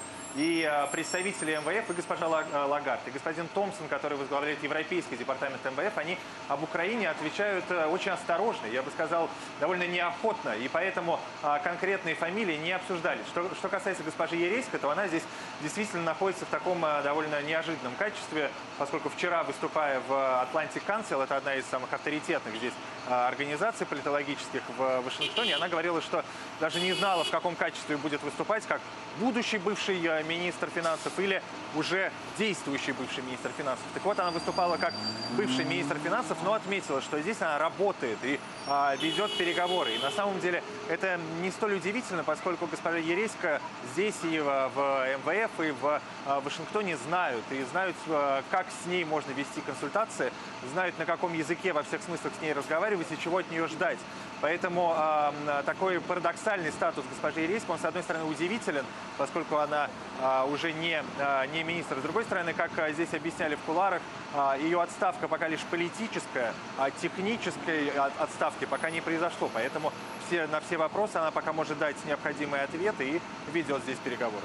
Тихон, спасибо тебе за исчер... Есть вопросы к Тихону? Нет, я должен э, прервать нашу связь. Тихон, спасибо за исчерпывающие ответы. Зрителям и гостям, напомню, это был с нами на связи наш специальный корреспондент в Вашингтоне Тихон Зетко. Сразу же, сразу же хочу узнать мнение зрителей по этому вопросу. Давайте проведем небольшой еще один мини-опрос.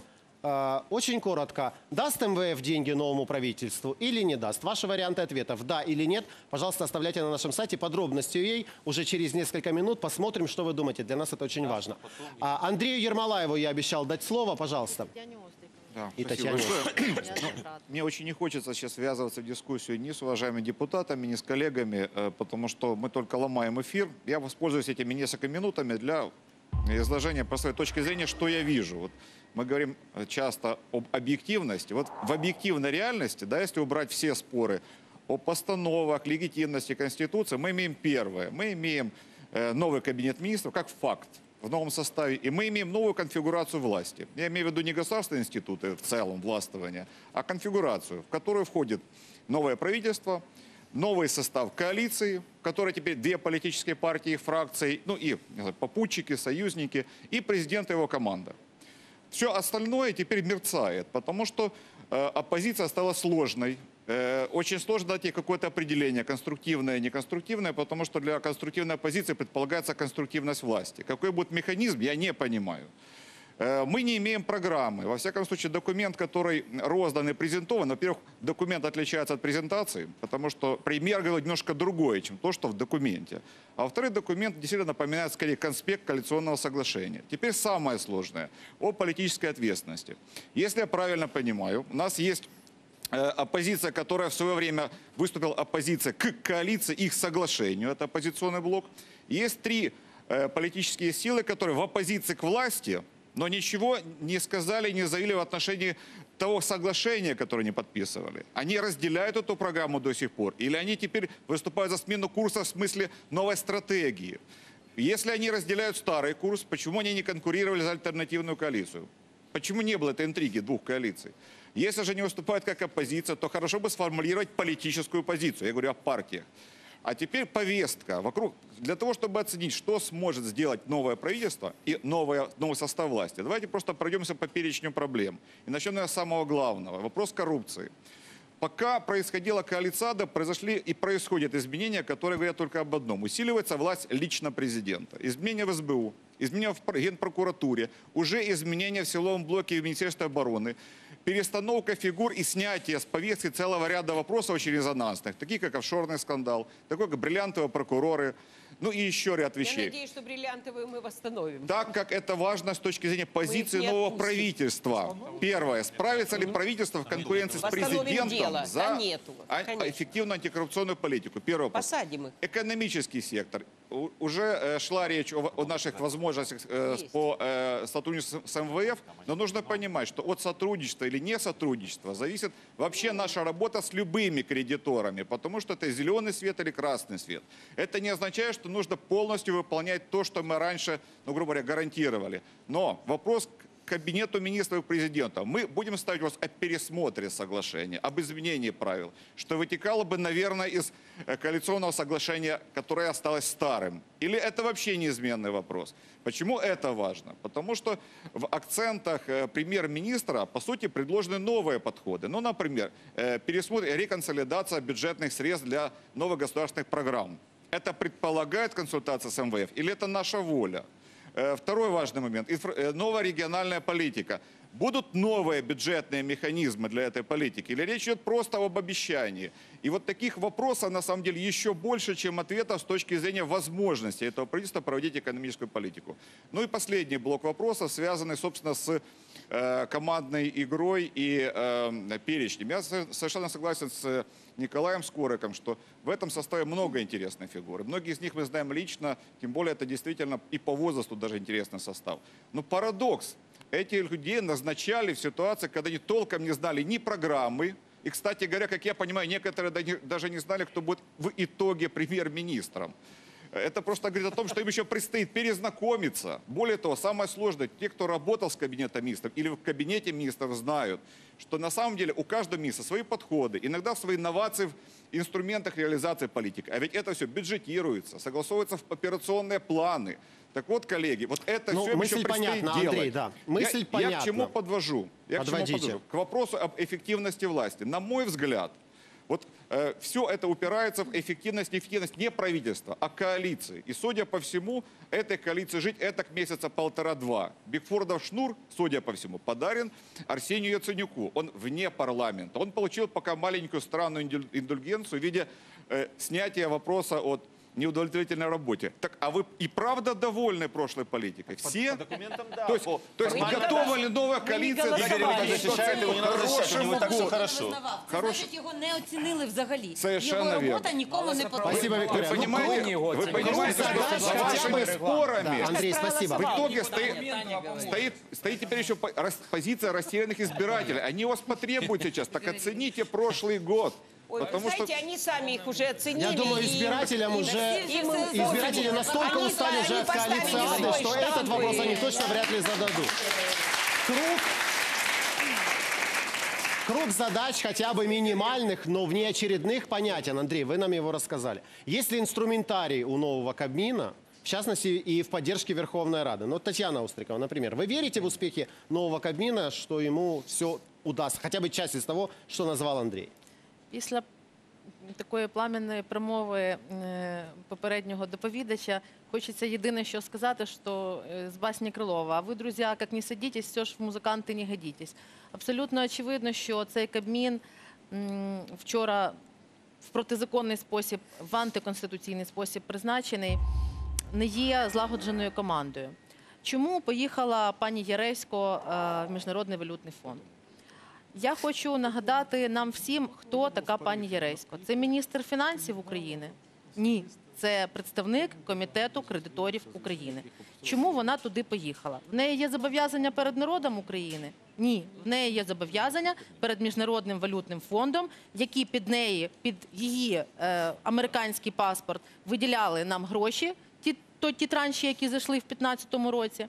І е, вона домовлялася, вона була в переговорах про те, що ті транші, які мають зайти, перед умовами повинні бути певні речі. Тетяна, що ви маєте в виду, коли говорите, що МВФ дає деньги під, ну пусть навіть американський паспорт определеного чоловіка? Я, как Я маю на увазі е, те, що власне сказав ваш кореспондент е, Тихон. Що вона говорить з ними на одній мові, як буквальній англійській, так і е, ментально думає так само, як думають е, американські люди. Її американський паспорт, я вже це неодноразово казала, не дозволяє їй напряму толерувати корупцію. А тепер чому Данилюк не поїхав? І чому Данилюк взагалі став міністром фінансів? Тому що Данилюк, будучи в тіні в адміністрації президента, теж займався питаннями податків, податкової реформи, домовленості з МВФ. І з пані Яресько був постійно присутній на переговорах. І як ніхто знає про ті домовленості, які там досягалися. Як ви знаєте, МВФ народних депутатів не залучає, не веде співпрацю з законодавчою владою, веде виключно з виконавчою владою. І Яресько погоджувалася, що вона не буде чинити перешкоди Україні при отриманні чергового транша тільки за умови, що міністром фінансів буде призначений Данилюк. То есть это ее ставление? Можливо, це фактично е, ваш кореспондент дуже грамотно сказав, що вона виконувала там функцію технічного е, міністра фінансів. Тому що цей міністр фінансів, який є на сьогодні в Україні, він, по-перше, ще не вник е, в все це господарство. А по-друге, він є її ставленником. Дійсно, він призначений е, номінально.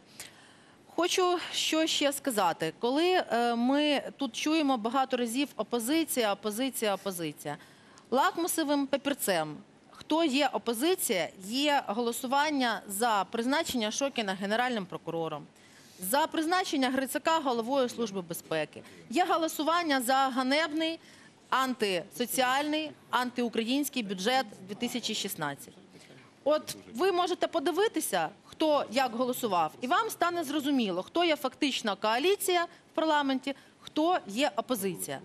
Коли ми говоримо, що самопоміч, батьківщина переходять в опозицію, це не означає, що ми безвідповідальні до держави.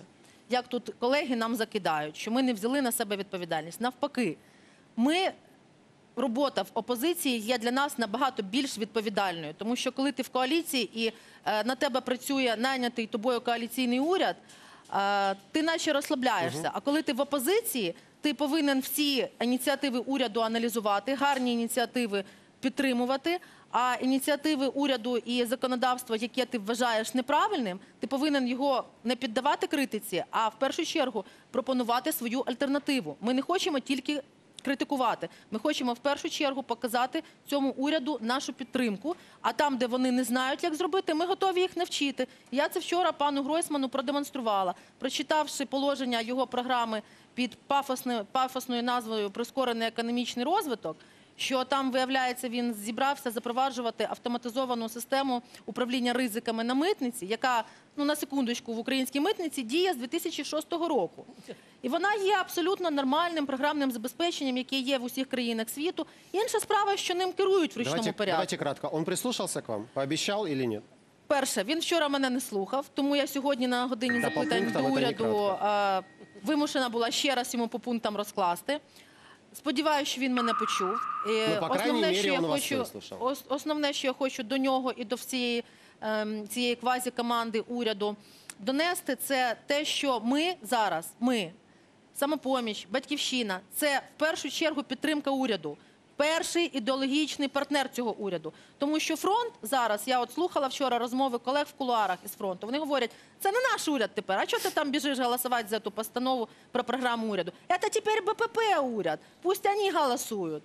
Тобто фронт тепер блок Петра Порошенка ненавидить, бо вони ж звалили Яценюка. Е, Олігархічні групи це такий, знаєте, дуже сумнівний партнер, тому що їм треба щось пропонувати. Опозиційний блок, ну ні камільфо з уламками регіонів е, провладним фракціям об'єднуватися. Тому зараз самопоміч і батьківщина це дві основні Спасибо, Татьяна. фракції, на які Но вы уряд почему-то може забываете о спиратися. радикальной партии, которая Выбачьте, и в свое радикальная время, партия. во время голосования Выбачьте. за бюджет, очень даже помогла, будучи тогда уже коалицией, будучи тогда уже в оппозиции. как бы. Юрий, а вот следующий, на- при голосовании на следующий бюджет, если этот парламент доживет, а не уйдет на перевыборы, снова проголосуете за бюджет, если сильно попросят? Давайте доживемо. Я думаю, що е, ну ви ж теж не відволікаєте від основної тези зараз, яка в нас іде.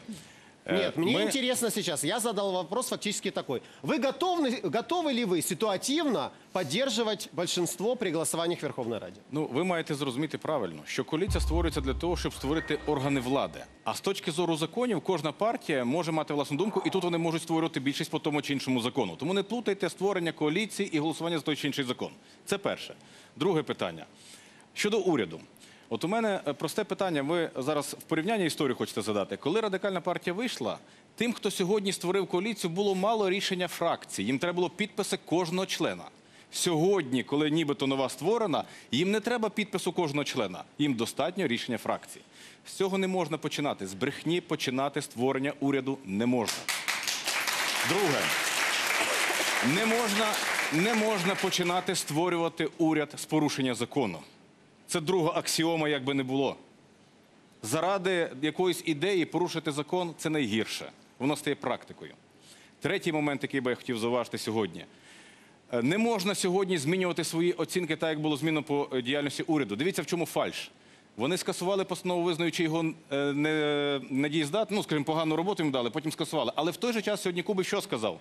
Цей уряд, новий уряд, відкликає 178 законопроєктів колишнього уряду, подані до Верховної Ради, із 449, які були подані за півтора року. Це 40% роботи колишнього уряду. Новий уряд визнає неякісним.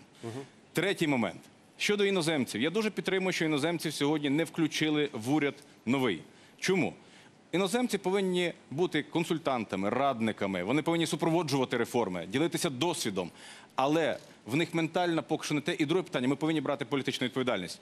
Що відбувається ж сьогодні? От давайте Яресько і Абрамовича розглянемо. Ну, Яресько сьогодні там в Америці, думаю, всі знають, що вона е, є громадянином Америки. І в мене питання, чи було б вона там, якби цей захід відбувався в Парижі або в іншій країні Євросоюзу. Але чим вона мені запам'яталася? В той е, момент, коли вона зрізає всім людям зарплати і пенсії, і мінімалку ставить 1200, вона в минулому році виділила по тендеру мільйон 70 гривень на послуги таксі, яким користується максимум 50 керівного складу працівників Міністерства фінансів, це по 20 тисяч на чоловіка, при тому, що є службовий транспорт. Ну це абсурдно в нашій країні. Чим запам'ятався сьогодні Айварес? Скандалом із цим Кононенком. Реформами дуже слабко. Хорошо, прекрасно- хорошо, Секундочку, я ще один момент. Нет, я я вашу щодо, мысль понял, е, что их не- не- Одна фраза, одна фраза. Тепер Ви- нова коаліція, новий уряд, що створився, да? і нова коаліція. Хто створився в коаліції? Коли коаліція приходить до влади, вона сразу подає перші законопроекти. Який був перший законопроект вчора зареєстрований новою вже коаліцією? Законопроект 4447, який переносить термін введення в дію закону про державну службу. Чому? Тому що поділ посад не завершився. Якщо новий закон передбачав з 1 травня, що всі заступники йдуть по конкурсу, відкритому і публічному, вони хочуть поділити його не публічно, а між собою розділивши. Ось вам перший крок коаліції. Тому в даному випадку треба чітко розуміти. Я бажаю, як українець, як патріот, бажаю країні тільки добре Це- і цьому це все уряду понятно, успіху. спасибо. Але з Юрій, таких кроків, спасибо, коли да, уряд ви починається, це повторяєте. питання. Так, подождите. Юрий начал критиковать... Владислав, подождите. державній Одну службі секунду. просто- Юрий э, начал критиковать тех людей, которым, которых не оставили в Кабмине, да? Варяг. А, а тех, кто оставили, к ним претензий нет, получается? Ведь у нас есть еще и категория министров, которые отработали и с Яценюком, и перешли к Гройсману. Неужели ни у кого нет претензий к работе? Все ли удовлетворены работой Петренко, Авакова, Климкина? Да, можно, Сергей, да. Ну, перше, якщо дозволите, але дайте мені, будь ласка, е, сказати, як ви даєте е, таку можливість, наприклад, представникам радикальної Сергей, без вводных и будет больше текста. Перше. Давайте. Е, Цей уряд, і ця коаліція, і цей парламент повинні для себе прийняти рішення. Дуже просте, від якого буде залежати, чи є майбутнє у цієї держави і її економіки. Вони готові забрати у олігархів і розподілити між простими людьми. Якщо цього вони не будуть готові зробити, якщо вони не готові провести деолігархізацію, націоналізацію підприємств, Сергей, я вам сразу скажу, Почекайте. человека, который будет готов это сделать и, главное, будет знать, как это сделать, в Украине канонизируют. ця людина стоїть, сидить перед вами. Я так и думал. Не сомневался. А, друге, друге, що я переконаний, вони повинні зробити. Сказати людям правду. Подивіться, 27 членів уряду готові перегризти один одному горло за зарплату 10-12 тисяч гривень. Ну хіба не смішно, скажіть? Ми ж прекрасно розуміємо, що це підготовка, а потім буде здійснення великого дерибану, потоків, ну і інших речей. Третє. Чому ми? А не вы с- в министры пошли Чому бы? ми? А вы пошли бы в министры? Я свого часу прийду туди, куди я маю прийти. А чого вам туди стремиться? Там зарплата 12 прем'єр-міністром тисяч. України без зарплати, і ця країна заживе. При прем'єрі Капліні, побачите. Друге. Сергей, все-таки ближе к теме моего А вопроса, тепер, а тепер, що стосується справедливості. У нас є кілька урядовців, по яким потрібно створити тимчасові слідчі комісії або гарно попрацювати в прокуратурі і дати відповіді на дуже прості запитання, які є до них, і щодо яких зверталися народні депутати. Петренко, наприклад. Україна в цьому році сплатить майже 7 мільйонів гривень мита за те, що влізла у спір між Євросоюзом і Януковичем в питанням санкцій. Він саме він ініціював ці процеси всупереч указу президента чинному законодавству. І я завтра зранку, точніше в понеділок, звертаюся до генерального прокурора з вимогою розслідувати ці факти. І я знаю, що інші народні депутати вже зверталися і їхні звернення проігнорували. І покарати Петренка. Він буде покараний, і це буде вимога. Інакше я буду настоювати на тому, щоб відбулася дуже справедлива річ. Я три тижні тому написав заяву про вихід із коаліції, написав заяву про вихід із БПП. Я подав до суду, адміністративного суду, щоб забезпечили виконання моїх вимог. Але вони взяли мої заяви і про них забули. Вони про них забули.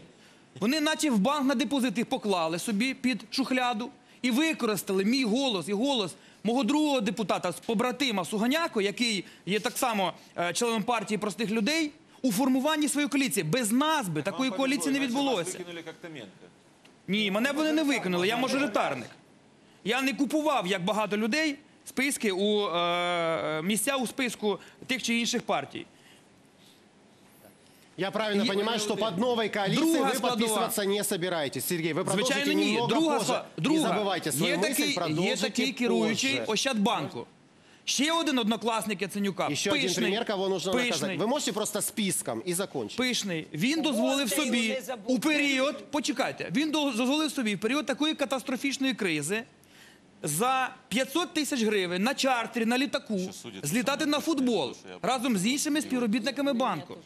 І так само це не розслідувано. Третє. На Яценюка й оточення є 2 тисячі проваджень у Генеральній прокуратурі. Так само не розслідується. Четверте. За впереддень, за годину до цієї ширки змови про, про дерибан портфелів у Кабміні. Вони закрили справу, яку я ініціював рік тому з приводу хабаря. Яценюку в 3 мільйони доларів за призначення Іщука, керівника одного з центральних органів виконавчої влади. І це незважаючи на те, що Генеральна прокуратура кілька годин тому відповіла добродомову народному депутату, що повним ходом іде процес розслідування цих речей. Тому моя заява є в них коаліція. Знаєте яка? Народний фронт, БПП і Генеральна прокуратура на трьох. І вони зараз зібралися, по суті, донищувати цю країну. Є вихід в цій державі. Це нові вибори, це прихід у парламент ідеологічних партій. У нас партія сьогодні єдина ідеологічна е, ліва партія це партія простих людей, яка буде боротися за цю молодь. Сергей, вот вы за тих очень хорошо трудящих, говорите, но за слишком тих тру- часто за тих звучит ваша трудящих. речь словосочетание «партия простых людей». Тому що це остання, тому що це Потому остання что- надія для Давайте без українців. рекламы. Спасибо. Остання. Думаю, что... Не ошиб... Уверен, что не ошибусь, что тема перевыборов очень понравилась Саше Боровику, который сразу поднял руку. Да, а, нет, на самом Хочется деле на не, не хочется на перевыборы? Э, не обязательно. Смотрите, а, будет очень интересный момент. Вы начали с министра финансов Саша Данилюк. Очень интересный характер в этой всей истории. Он либертарианец. Э, в голове своей он реформатор. Политически у него не было пока своей субъектности. Он основатель фонда Кахи Бенукидзе, а, но ничего как политик пока не сделал. Он за полную приватизацию, он за полный выход государства из экономики. И а, он, в общем-то, смотрит на вещи так, как на это смотрел Каха Бенукидзе.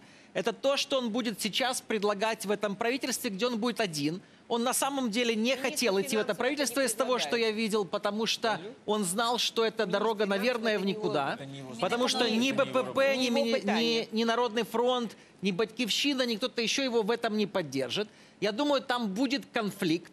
Я думаю, он выйдет и скажет, что ни нынешний, ни парламент, ни коалиция не готовы к серьезным реформам. И это вот будет тот выход, который начнет ломать эту коалицию и этот э, Кабмин. И тогда мы увидим, что кризис не завершился. Потому что интеллектуально коалиция сейчас, называйте ее как угодно технически, но коалиция БПП и Народного фронта, они банкроты. Они не знают, что делать дальше. Они поменяли людей, думая, что что-то изменится, но на самом деле ничего не изменится, и а, игра будет та же самая. И вот тогда могут быть новые выборы, может быть ситуация, когда... А я вообще не сторонник новых выборов, я должен сказать. Что, мне кажется, нужно делать, это толкать вот этих вот людей, этот новый Кабмин, чтобы они делали то, что нужно. Скорее всего, они этого делать не будут, да? И тогда, и тогда а, будут новые выборы. да? Понятно. Ну, Вот смотрите, как обычно, начали за реформы, с- э, закончили перевыборами. Давайте у зрителей поинтересуемся, во что они верят, до чего доведет новый Кабмин, скорее всего. До реформ, он проведет реформы, или второй вариант ответа, будут все-таки перевыборы. Пожалуйста, заходите на наш сайт, подробностью и голосуйте. Сейчас я просто закрою тему другого голосования. Вы видите, пожалуйста, нам результаты опроса по поводу, даст нам МВФ деньги или нет, верят ли в это украинцы. Ну, в принципе, можно сказать, что 50-50. Да, все-таки вот вера, наверное, вера в деньги, ну, нельзя сказать, что в шаровой, но мало же кто из зрителей думает, что кому-то придется отдавать, правильно? В общем, она, но я же, я уточняю, мало кто из зрителей думает о том, кто их будет отдавать. И снова спасибо за результаты к перевыборам. Александра Кужель, а ведь вы, как никто, наверное, тоже заинтересованы в перевыборах.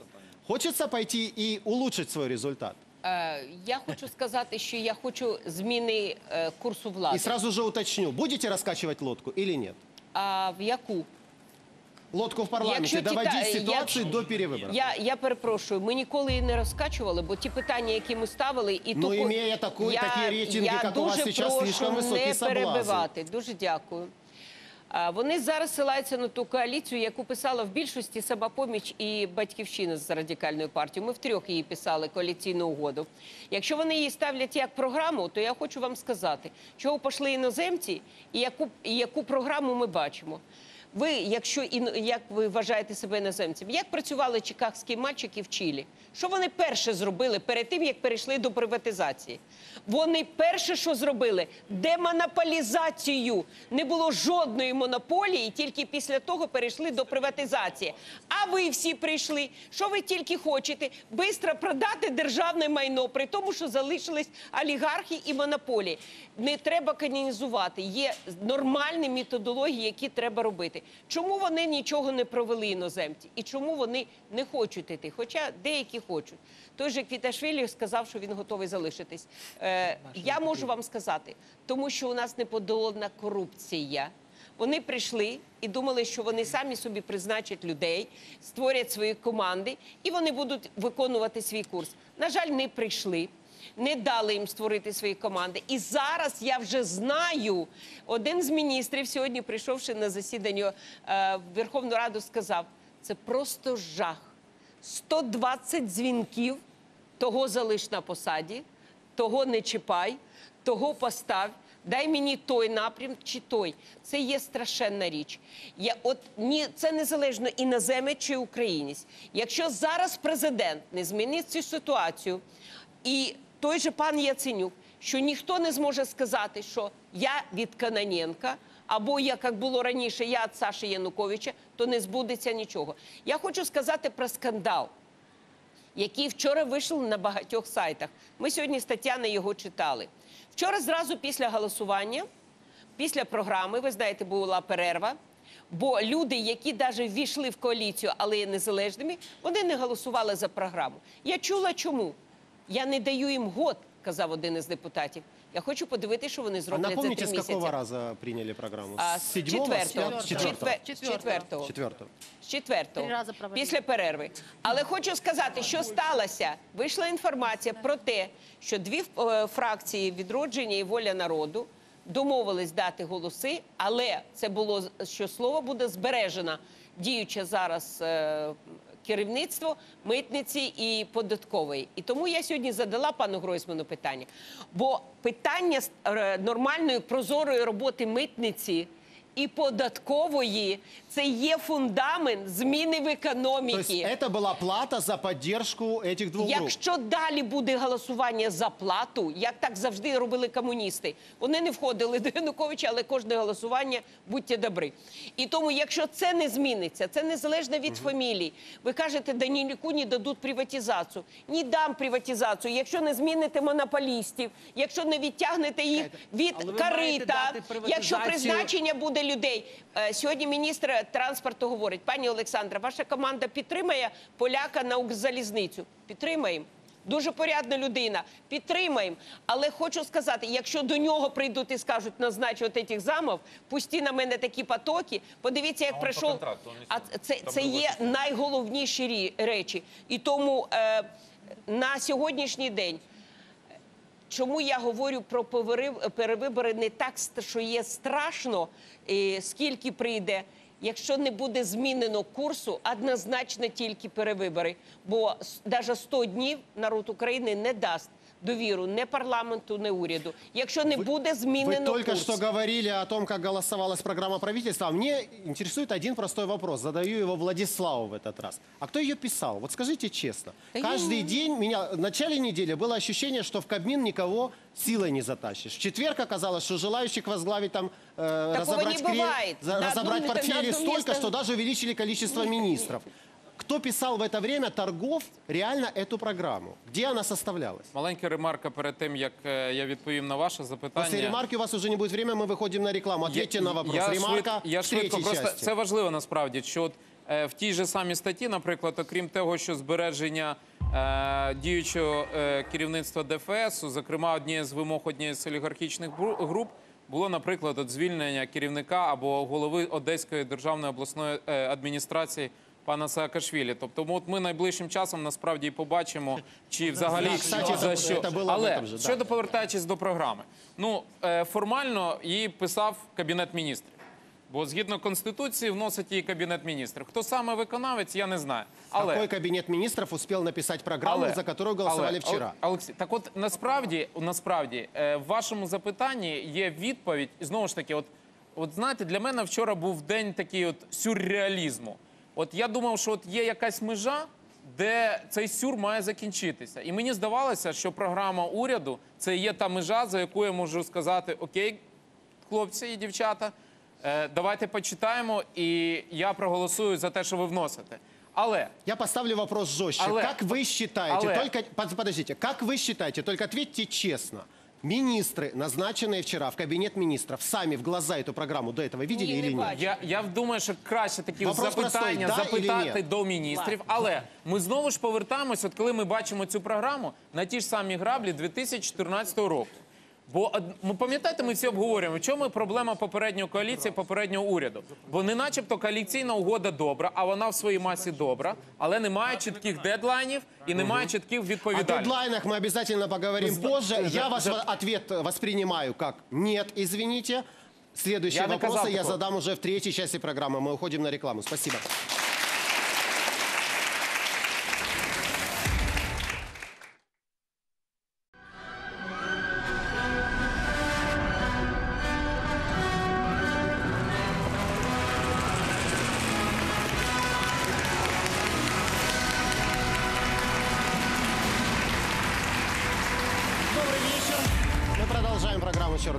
«Черное зеркало». Третий час программы. Я хотел бы сразу начать с мнения телезрителей.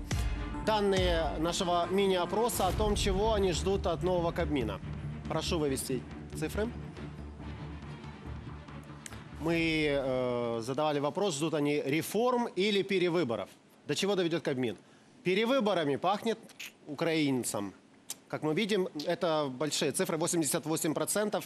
А, Действительно ли, действительно ли наши зрители правы? Нет шанса на то, что этот состав Кабинета министров справится, стабилизирует ситуацию, проведет реформы Шанс и не всегда у доведет до всех перевыборов. Владислав, вы, да, я обещал я- вам я дать, просто- я дать просто закончить хочу вашу мысль, закінчити. но очень коротко. Да, дуже коротко, бо ну про те, що немає дедлайнів е, і відповідальних за впровадження цієї програми, ми вже поговорили. Але от знаєте, от я відкрив першу сторінку і от дивлюсь пу- е, розділ другий конституційна реформа, підготовка проєктів законодавчих, а також прийняття підзаконних актів для забезпечення реалізації змін до Конституції України в повному обсязі. Гарний насправді Дата стоїть? Дата стоїть ісполнення? Питання не в даті. І далі я думаю, ну цікаво ж подивитися, де саме. Я повертаю сторінку і дивлюся вже новий розділ. Тобто, реально, ну з однієї з трьох з трьох реально. Там далі продовження судова реформа. У мене Але просто так питання само в іншому. програма От я є. відкриваю І в судовій конституційний реформі від- написано Тому, саме, які вибачте, законопроекти вибачте, на реалізацію На жаль, цього. я Ну, щиро, вибачте, дійсно давайте щиро об'єктивно. бажаю е, уряду. Конституционные измены, это не Я, только щи- судовая я, щ- реформа. я щиро Но это бажаю не только уряду. судовая А в- реформа. а- а Я в щиро розділі бажаю децентралізації уряду Гройсмана читайте успіхів. децентралізацію. Бо насправді ми всі маємо давайте розуміти, об'єктивно що е, Ну, успіх так от дві уряду це є, об'єктивності. буде успіх країни і успіх умовно всіх нас. Але тут варто розуміти інше, що ми маємо пам'ятати, що не тільки все залежить від уряду. Багато чого залежить від дієздатності Верховної Ради. І якщо Верховна Рада не буде дієздатна з точки зору ефективності прийняття рішень, то і насправді не буде ніякого успіху уряду. Але ще є один момент, який називається судова гілка влади, бо можна зробити суперкласні реформи. Ми можемо приймати класні закони. Але якщо це все буде розбиватися абсолютно корумповано, абсолютно недієздатну судову гілку влади, ми можемо більше не говорити про яке, як би ми цю програму не назвали, що би ми тут не наз- написали, це буде абсолютно неможливо впровадити в життя. Підтримую Да, 100%. Игорь, можно. Выбор, перевыборы или реформы? Ваш вариант ответа. Куда? С одним процентом. Ні, я, я вам Які хочу сказати про перевибори? вибори. Сьогодні З двічі одним говорили. відсотком. Я вас не перебивав, Я пані ні в Олександре. коєму Я дуже дякую. Отже, сьогодні говорили двічі про сьогоднішнє опитування, да? Так от дивіться, я хочу сказати українському народу. Е, опитування прийшло. Попадають в парламент ті самі політичні сили. Да, є питання по І Народному ваша? фронту. Послухайте, є питання по Народному фронту Немає питань. і партія Саакашвілі. Анна, а скажите, Якщо, если вы послухайте, изучали эти цифры, насколько ухудшится ваш результат? Значить, шановні друзі, дивіться, от коли хтось дехто тут розказує про те, що доводиться кричати, в мене хороший голос. Доводиться кричати тільки тому, що не дають сказати. Тому що всім хочеться розказати про Народний фронт. Народний фронт розбереться своїм рейтингом. Не переживайте за нас. Ми відповідальні люди. Так як багато хто котив бочку на нас останні півтора роки, я хотів би, щоб кожен з вас побув в цій шкурі. Ми не здалися, ми мали свою позицію. Я ще раз просив не перебивати. Дві короткі тези. Перше, Народний фронт, Арсеній Яценюк підуть на будь-які вибори. Я мажоритарник, я буду йти до людей. Ми за це не переживаємо. Не переживайте, наші колеги, за результати Народного фронту. Ми відповідальна політична сила. Другий момент. Я бачив ці опитування сьогодні. Проходять ті самі політичні сили і Михайло, е, партія Михайла Саакашвілі. Е, Скажіть, будь ласка, якщо зараз є критика один з одним і не можуть домовитись, що поміняється в новому парламенті? Когось буде більше мандатів, да, буде більше мандатів в батьківщині. Не буде там, чи буде дискусія там по інших політичних силах, наприклад, свободи там не- я по- не побачив. Що Ні, вона на поміняється? межі, може. Нічого не поміняється. Тому ці вибори нічого не змінять. Ну вот Тепер Михаил про- Головко вам может сказать, что поменяется. я Вероятно, там скажу, появится дійсно, свобода. Опозиційний Михаил, блок, дайте ще одну готовитесь тезу. уже к выборам? Опозиційний блок Очень коротко. буде мати більше голосів. Це очевидно. Ми це розуміємо. Ми побачили вибори в Кривому Розі. Там близько не буде ні партії е, простих людей, ні інших політичних сил. Але там може бути також відродження Кернеса. Ще раз кажу, е, буде партія простих людей, буде партія Саакашвілі, Сьогодні будуть народний контроль і інші партії. Я- Сергій. Не треба одну- вірити Сергій, цим пожалуйста. покупним рейтингам. Дайте ще одну тезу Самий стосовно кращий програми. рейтинг це люди, які Дивіться, голосують. Стосовно програм. Критикували Можна про я? те, що дуже довго ми, дві фракції, е, узгоджували уряд. Аж цілих три дні. Фактично з неділі, понеділок, вівторок, середа. Та Хтось хотів, Да вы 7 недель хтось хотів, щоб ми не прийняли програми, щоб ми не затвердили уряд, щоб ми не затвердили керівництво Верховної Ради. Дуже багато в парламенті цього хотіло. Ну нам вдалося переконати Ну молодці. колег, аби ми мали Ми- ми- ми легітимну раді за вас. Сьогодні п'ятниця. Ігор, Ми маємо легітимний уряд. Ми маємо легітимну Верховну Раду. Комусь цього не хотілося. Хотілося, щоб все розбилося, щоб були перевибори. Можна Ми ще я всі маємо все Игорь, можливе, щоб спасибо. це Михаил Головко, Товариство, я Свобода вас уже тільки прошу- готовится к выборам? Так, тільки одне прохання, не перебивайте, будь ласка. Звісно, що е, товариство, бач, давайте говорити чесно. Це бажання не те, що є свободи, це бажання є українського суспільства. Бо наша сьогоднішня криза це є криза довіри людей до влади. Її немає ні до парламенту, ні до уряду, ні до президента. І це є чесно. І тому така глибока криза сьогодні торкнулася українську державу. На що це все нагадує? Ми сьогодні багато обговорювали, але мені це нагадує ту історію, яку я казав, що це нагадує, якби нібито корабель Титанік йде на дно, а команда бореться за теплі місця в каютах або за той штурвал, який вже набрав повні трюми води. І вони сьогодні хапаються за волосинку при будь-яким чином, лише щоб не йти на вибори. Бо не дай Боже підуть на вибори, бо їх більше не беруть. Та не за мандати потрібно триматися. Потрібно робити реформи. Що ми не почули саме основне? Ми говорили про ту програму, яку писали на коліні там зі стелі, чи що, яка практично є ні- ніякою. Але ми не чули реальної дискусії, які будуть проведені реформи в країні. Яка буде податкова реформа? Як вони будуть виводити економіку з тіні? Про те, що нічого не зробили ні Яресько, ні Яценюк. Яка, як будуть боротися з офшорами і з олігархами? Як будуть боротися з монополіями і так далі, приватними? Ми цього не почули. Я сьогодні на годині запитань до уряду міністра фінансів Я вам скажу питав. больше, мы не Я- то, что я не чуем. Извините, я просто добавлю. Мы не то, что не чуем, мы многого и не видим даже в этой программе. Так Например, вот, никто не правильно. упоминает о том, что там ни слова о том, что делать по, по рынку земли, что Можна я делать с скажу? уровнем тарифов. Программа об Я, этом я скажу умалчивает. наступне. Я сьогодні запитав міністра фінансів, кажу, а як буде відрізнятися ваша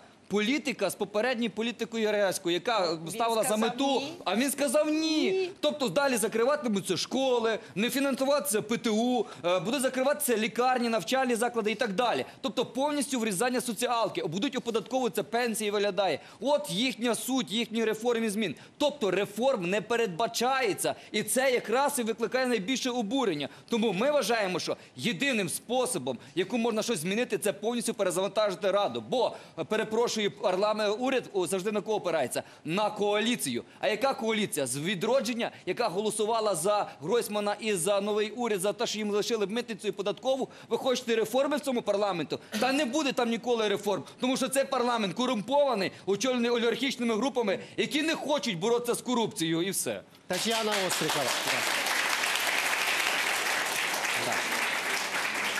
Сейчас очень быстро ответят все депутаты, которые, ну, мне кажется, здесь нет ни одного человека вот в этом ряду, кто не хотел бы пойти на выборы. Когда вы их прогнозируете? Я? Да. Я би хотіла два слова сказати про програму уряду, а потім перейти до виборів. Колеги, Ну, ми нема вже про що, поняли, що, в общем-то, немає про що аналізувати практично дискутувати. нечего. Немає про що дискутувати. Програма написана на швидкоруч, неякісно. Е, Навіть не знаю, хто так підставив Володимира Борисовича Гройсмана. Якщо, наприклад, повернутися до теми близької мені, то там е, з приводу податкової реформи зазначено лише, що треба прийняти новий податковий кодекс і встановити мораторій 3-5 років на внесення змін до нього. Тут можна, власне, знаєте, під, новий податковий кодекс підвести будь-що і ліберальну фіскальну реформу, і е, продовження е, рук Яресько, справи рук Яресько, і виконання всього того, що нам нав'язує. Захід, тобто тут себе пров'язи- проявить е, якраз лібертаріанець Данилюк. Хай, будь ласка, як е, міністр, який очолює е, міністерство відповідальне за податкову митну політику, в нього буде всі можливості проявити себе і свої лібертаріанські погляди. Е, Так проявят или нет? Татьяна, давайте Я- вот ближе к моему я вопросу. хочу сказати, Будут що- перевыборы или нет? Ваше мнение? Моя думка наступна. Е, оскільки програма написана неякісно, ми повинні дати цьому уряду шанс і його всіляко підтримати. Там, де є добрі речі, їх підтримати, там, де погані, запропонувати свої. І ви свобода Шанс теж по времени можете свої сколько, пропонувати. Татьяна? Шанс по времени сколько займет треба цей уряд підтримати. Якщо ми побачимо, що реформи не йдуть, І е, власне цей останній шанс втрачено. Ми осінню йдемо на перевибори. Осінню. Але Спасибо. запорукою того, щоб піти на успішні перевибори, є голосування. Закон Я не заперечую Михайло, не заперечую. Михайло. Я не заперечую всіх ваших заслуг. Але давайте поможемо їм провести реформи. Якщо б вони будуть е, в цьому неуспішні, ми осінню йдемо на перевибори. Тобто дедлайн ви Але виставляєте щоб осінь. перевибори були успішні, Не ми з вами всі разом повинні забезпечити прийняття нового виборчого закону. У нас. Без мажоритарки, відкриті списки, політична реклама.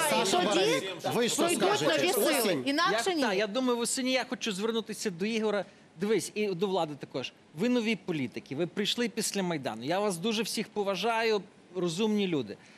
Чому ви так тримаєтесь за ті стрі за тих старих людей, за ту партію Народний фронт чи БПП? Виходьте і готуйтесь.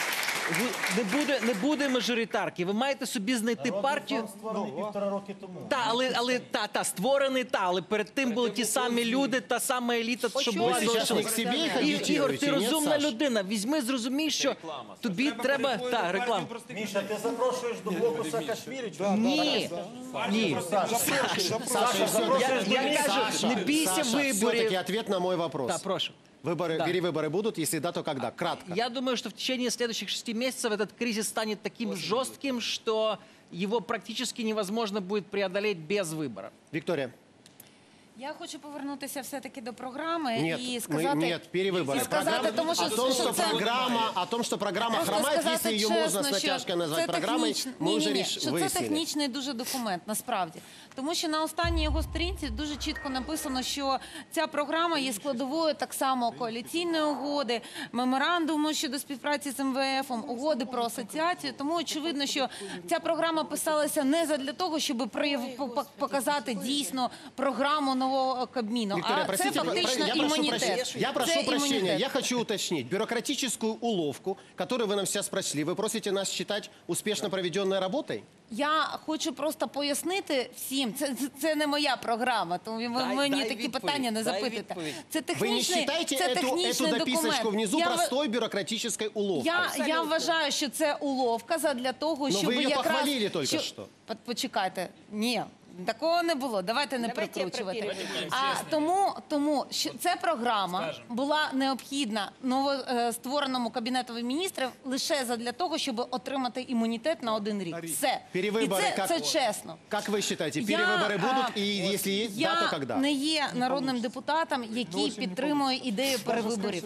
І мені би хотілося тут якраз оптимістично а, Владимир. ставитися до цього. Владимир. І якщо б не ми не сф- не сформували цей кабінет міністрів, хоча я за нього не голосувала, але все-таки, якщо б Яценюк би залишився на посаді, то однозначно би жодного шансу ніж йти на перевибори не було би. Наразі у нас е, є шанс.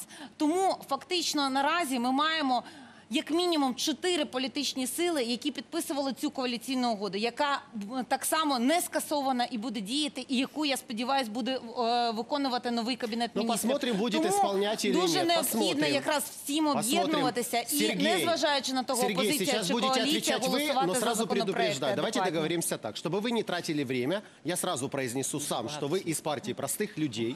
Вы рекламой заниматься не будете и ответите четко и кратко. Будут ли перевыборы, по вашему мнению, и когда? А, вот здесь очень много народных депутатов, а, бывших новых чиновников, и они говорят фразу.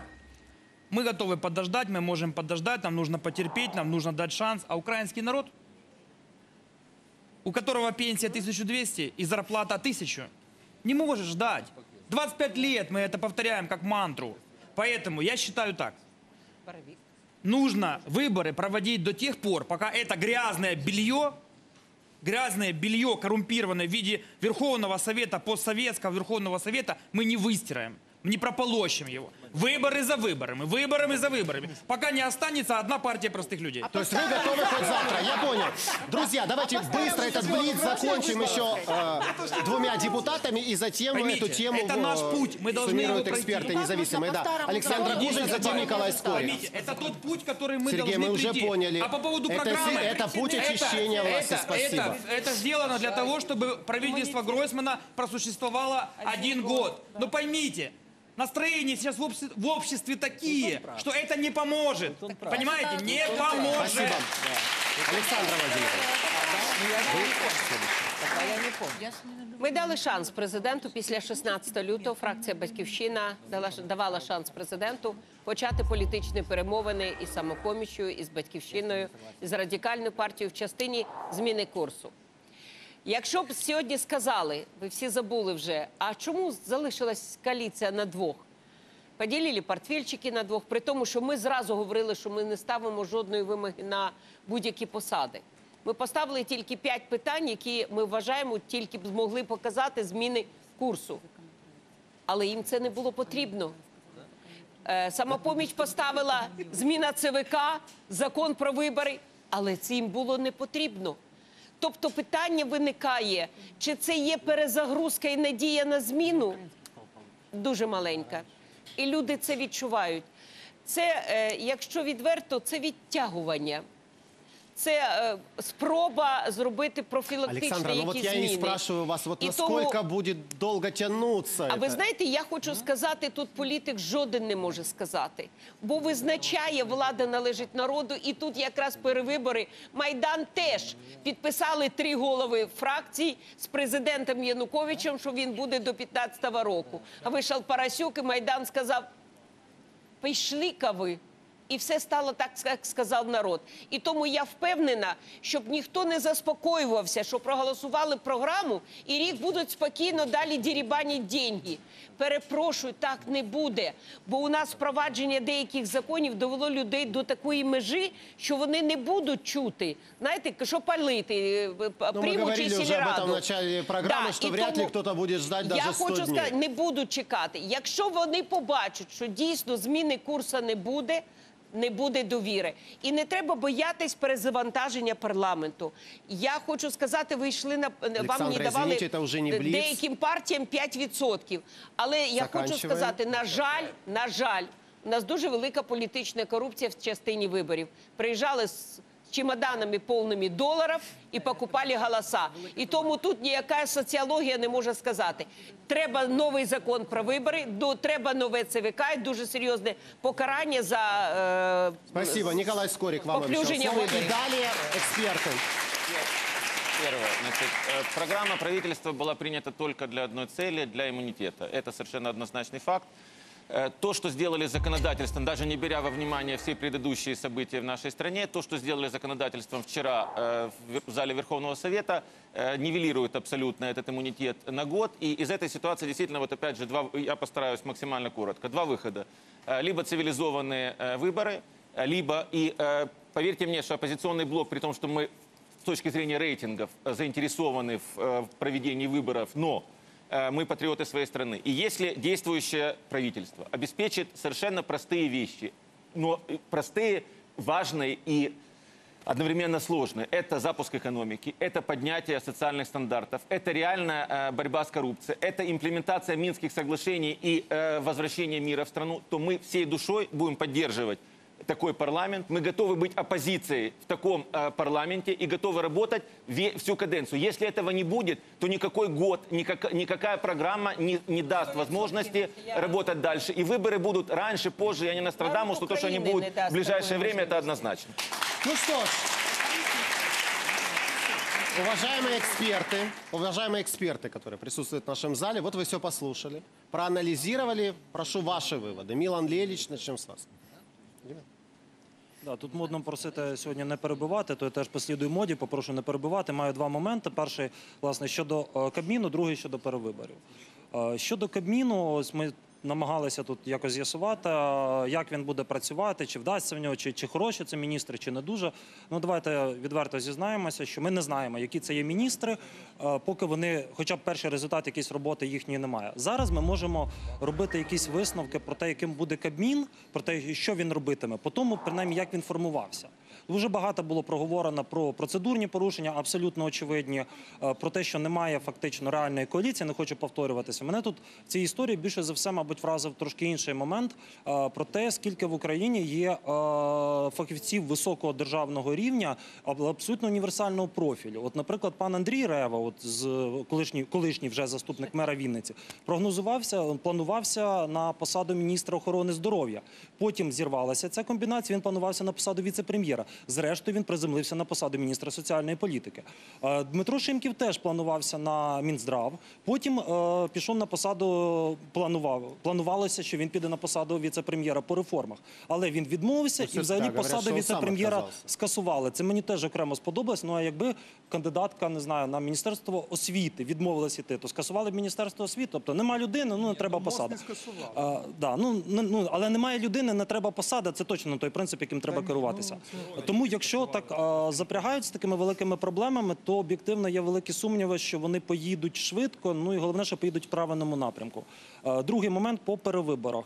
Звичайно, створення нового кабміну воно деякою мірою відклало в часі, зняло е, перевибори з першого пункту порядку денного, кудись його трошки посунуло вниз. Але насправді вирішило формування нового кабміну лише ну, досягнуло одної мети одна людина. Е, Я маю на увазі, що е, Петро Порошенко е, нарешті зміг позбутися Арсенія Яценюка у кріслі прем'єра. А таке так, таку мету він поставив день обрання Арсенія Яценюка прем'єром України. Ось це було досягнуто. Жодної з е, причин, які призвели до цієї кризи, навіть якщо брати якісь дуже фундаментальні, на кшталт тотальної олігархічної залежності українського політикуму, корумпованості, нереформованості і так далі. Дуже нудні слова. Е, Але жодна із цих причин не усунути недовіри між елітами. А це означає, що е, рано чи пізно це прорветься. І я думаю, певно, в осяжній перспективі нам доведеться йти на перевибори як єдиний. е, Метод вирішення кризи, який є в демократичній країні, якою ми сподіваюся ще лишаємось. Спасибо, Владимир Фісенко. Ну, Во-первых, я хочу успокоить.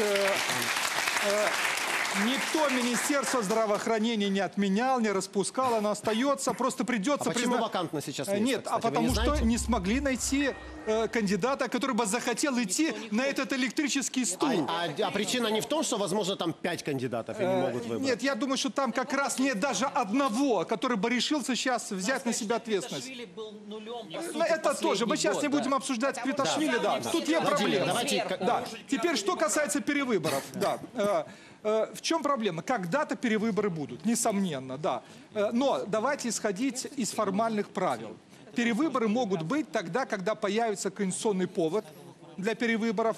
На сегодня это либо э, увольнение правительства, год нельзя уволить, как уже сказали, либо отставка добровольная премьер-министра. Все можно, конечно, да. Но э, э, я как-то мало Ну, верю, что... можно расшатать ситуацию внутри можно, коалиции, можно. которая и так Это крепостью не фактор улицы. Это фактор улицы, это непредсказуемо. Нет, расшатать Если- ситуацию внутри коалиции, Теперь вот, теперь которая не второй. производит и так впечатление Второй, да, второй фактор, да, это коалиция, да.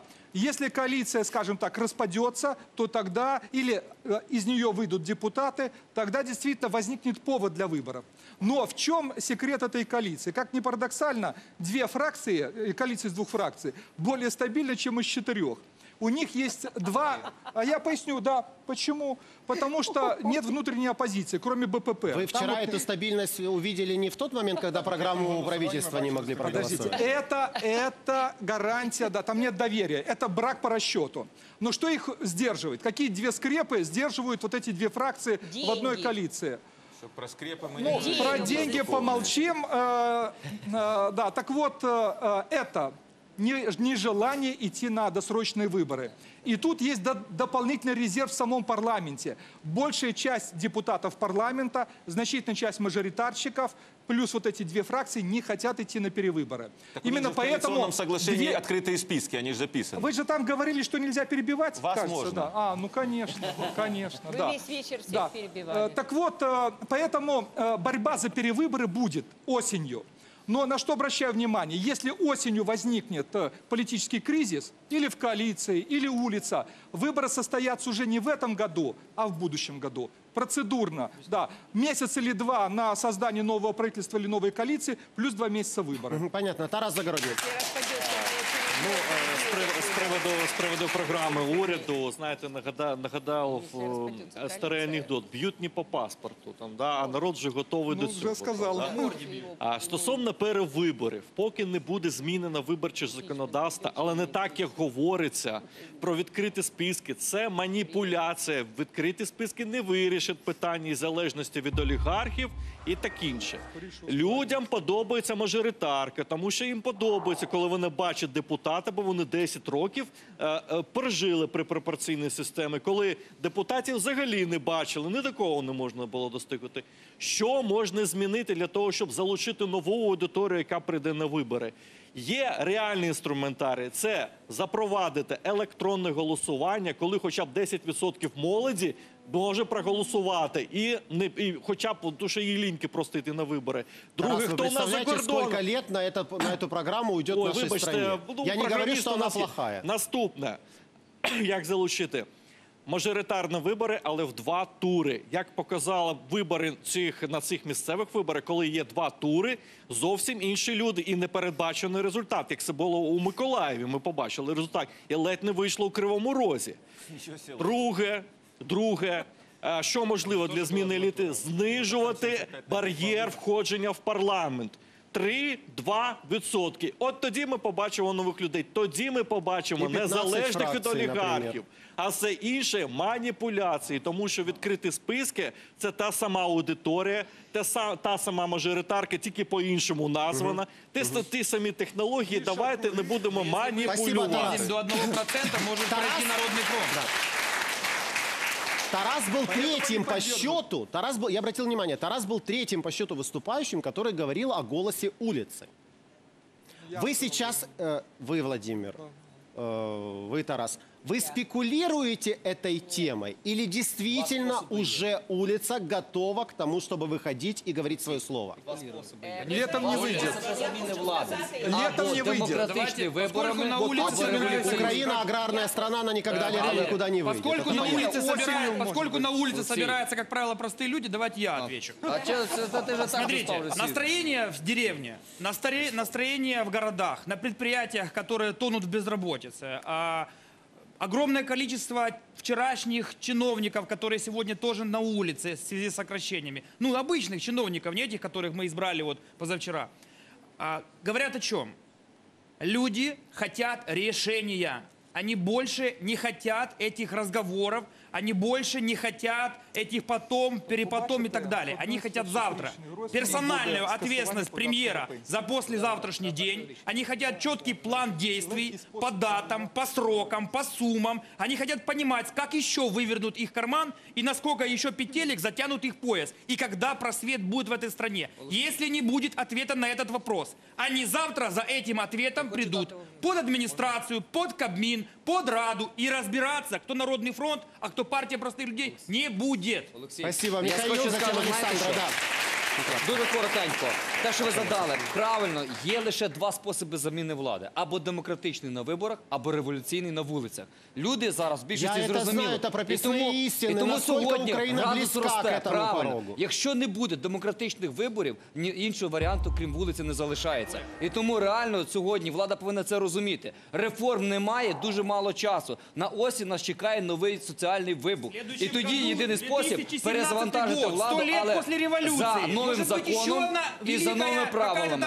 І тоді почне не кричи, ну не кричи, що ти кричиш. Ну, всі, ну, це ну за достав всіх вже. Е, Я хочу сказати, тоді єдиний спосіб перезавантажити це є буде осінню, коли буде нова соціальна криза, і тоді буде реально виклик. Або вони дочекаються, що будуть люди Один на вулиці, або буде- Спасибо, або будуть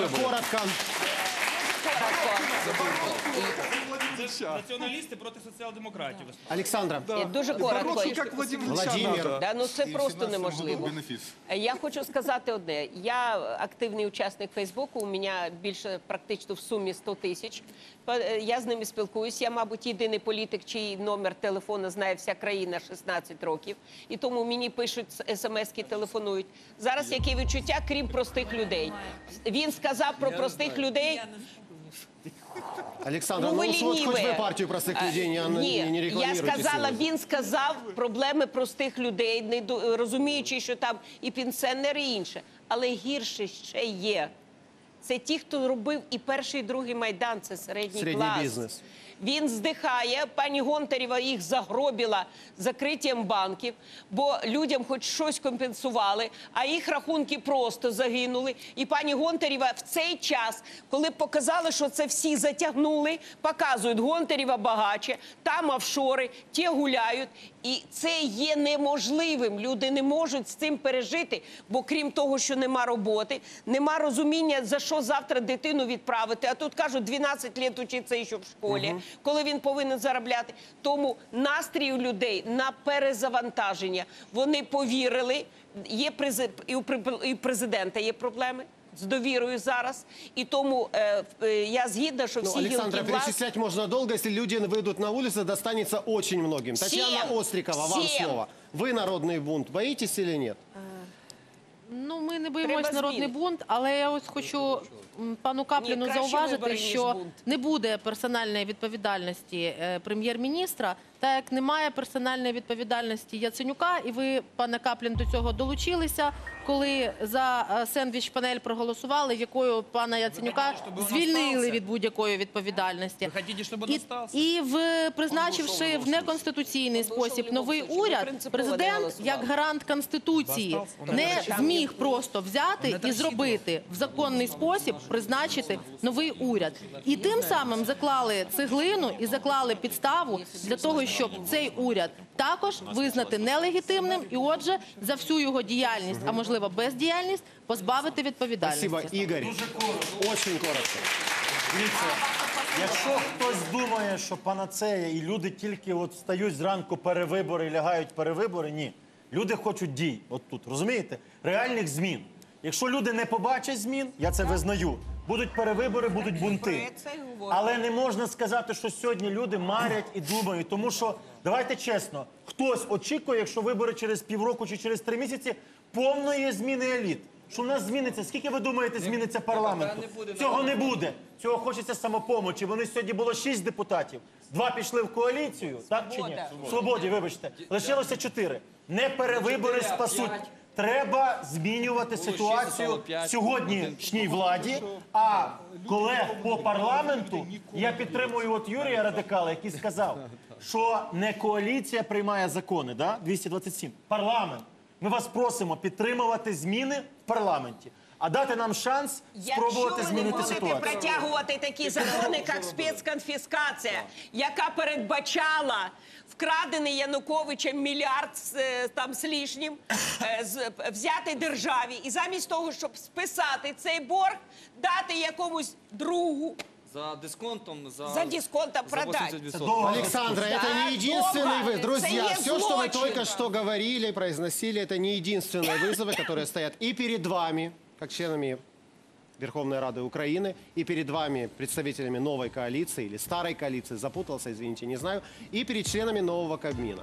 Ну что ж, нам остается, журналистам и зрителям, только наблюдать за тем, как вы будете выживать. Ведь речь идет не только о нашем выживании, а и вашем политическом. Не забывайте, наблюдать. пожалуйста, об этом Мы будем с никогда. вами на вашей Спасибо. В эфире было. «Черное зеркало». До встречи через неделю. народ. Вот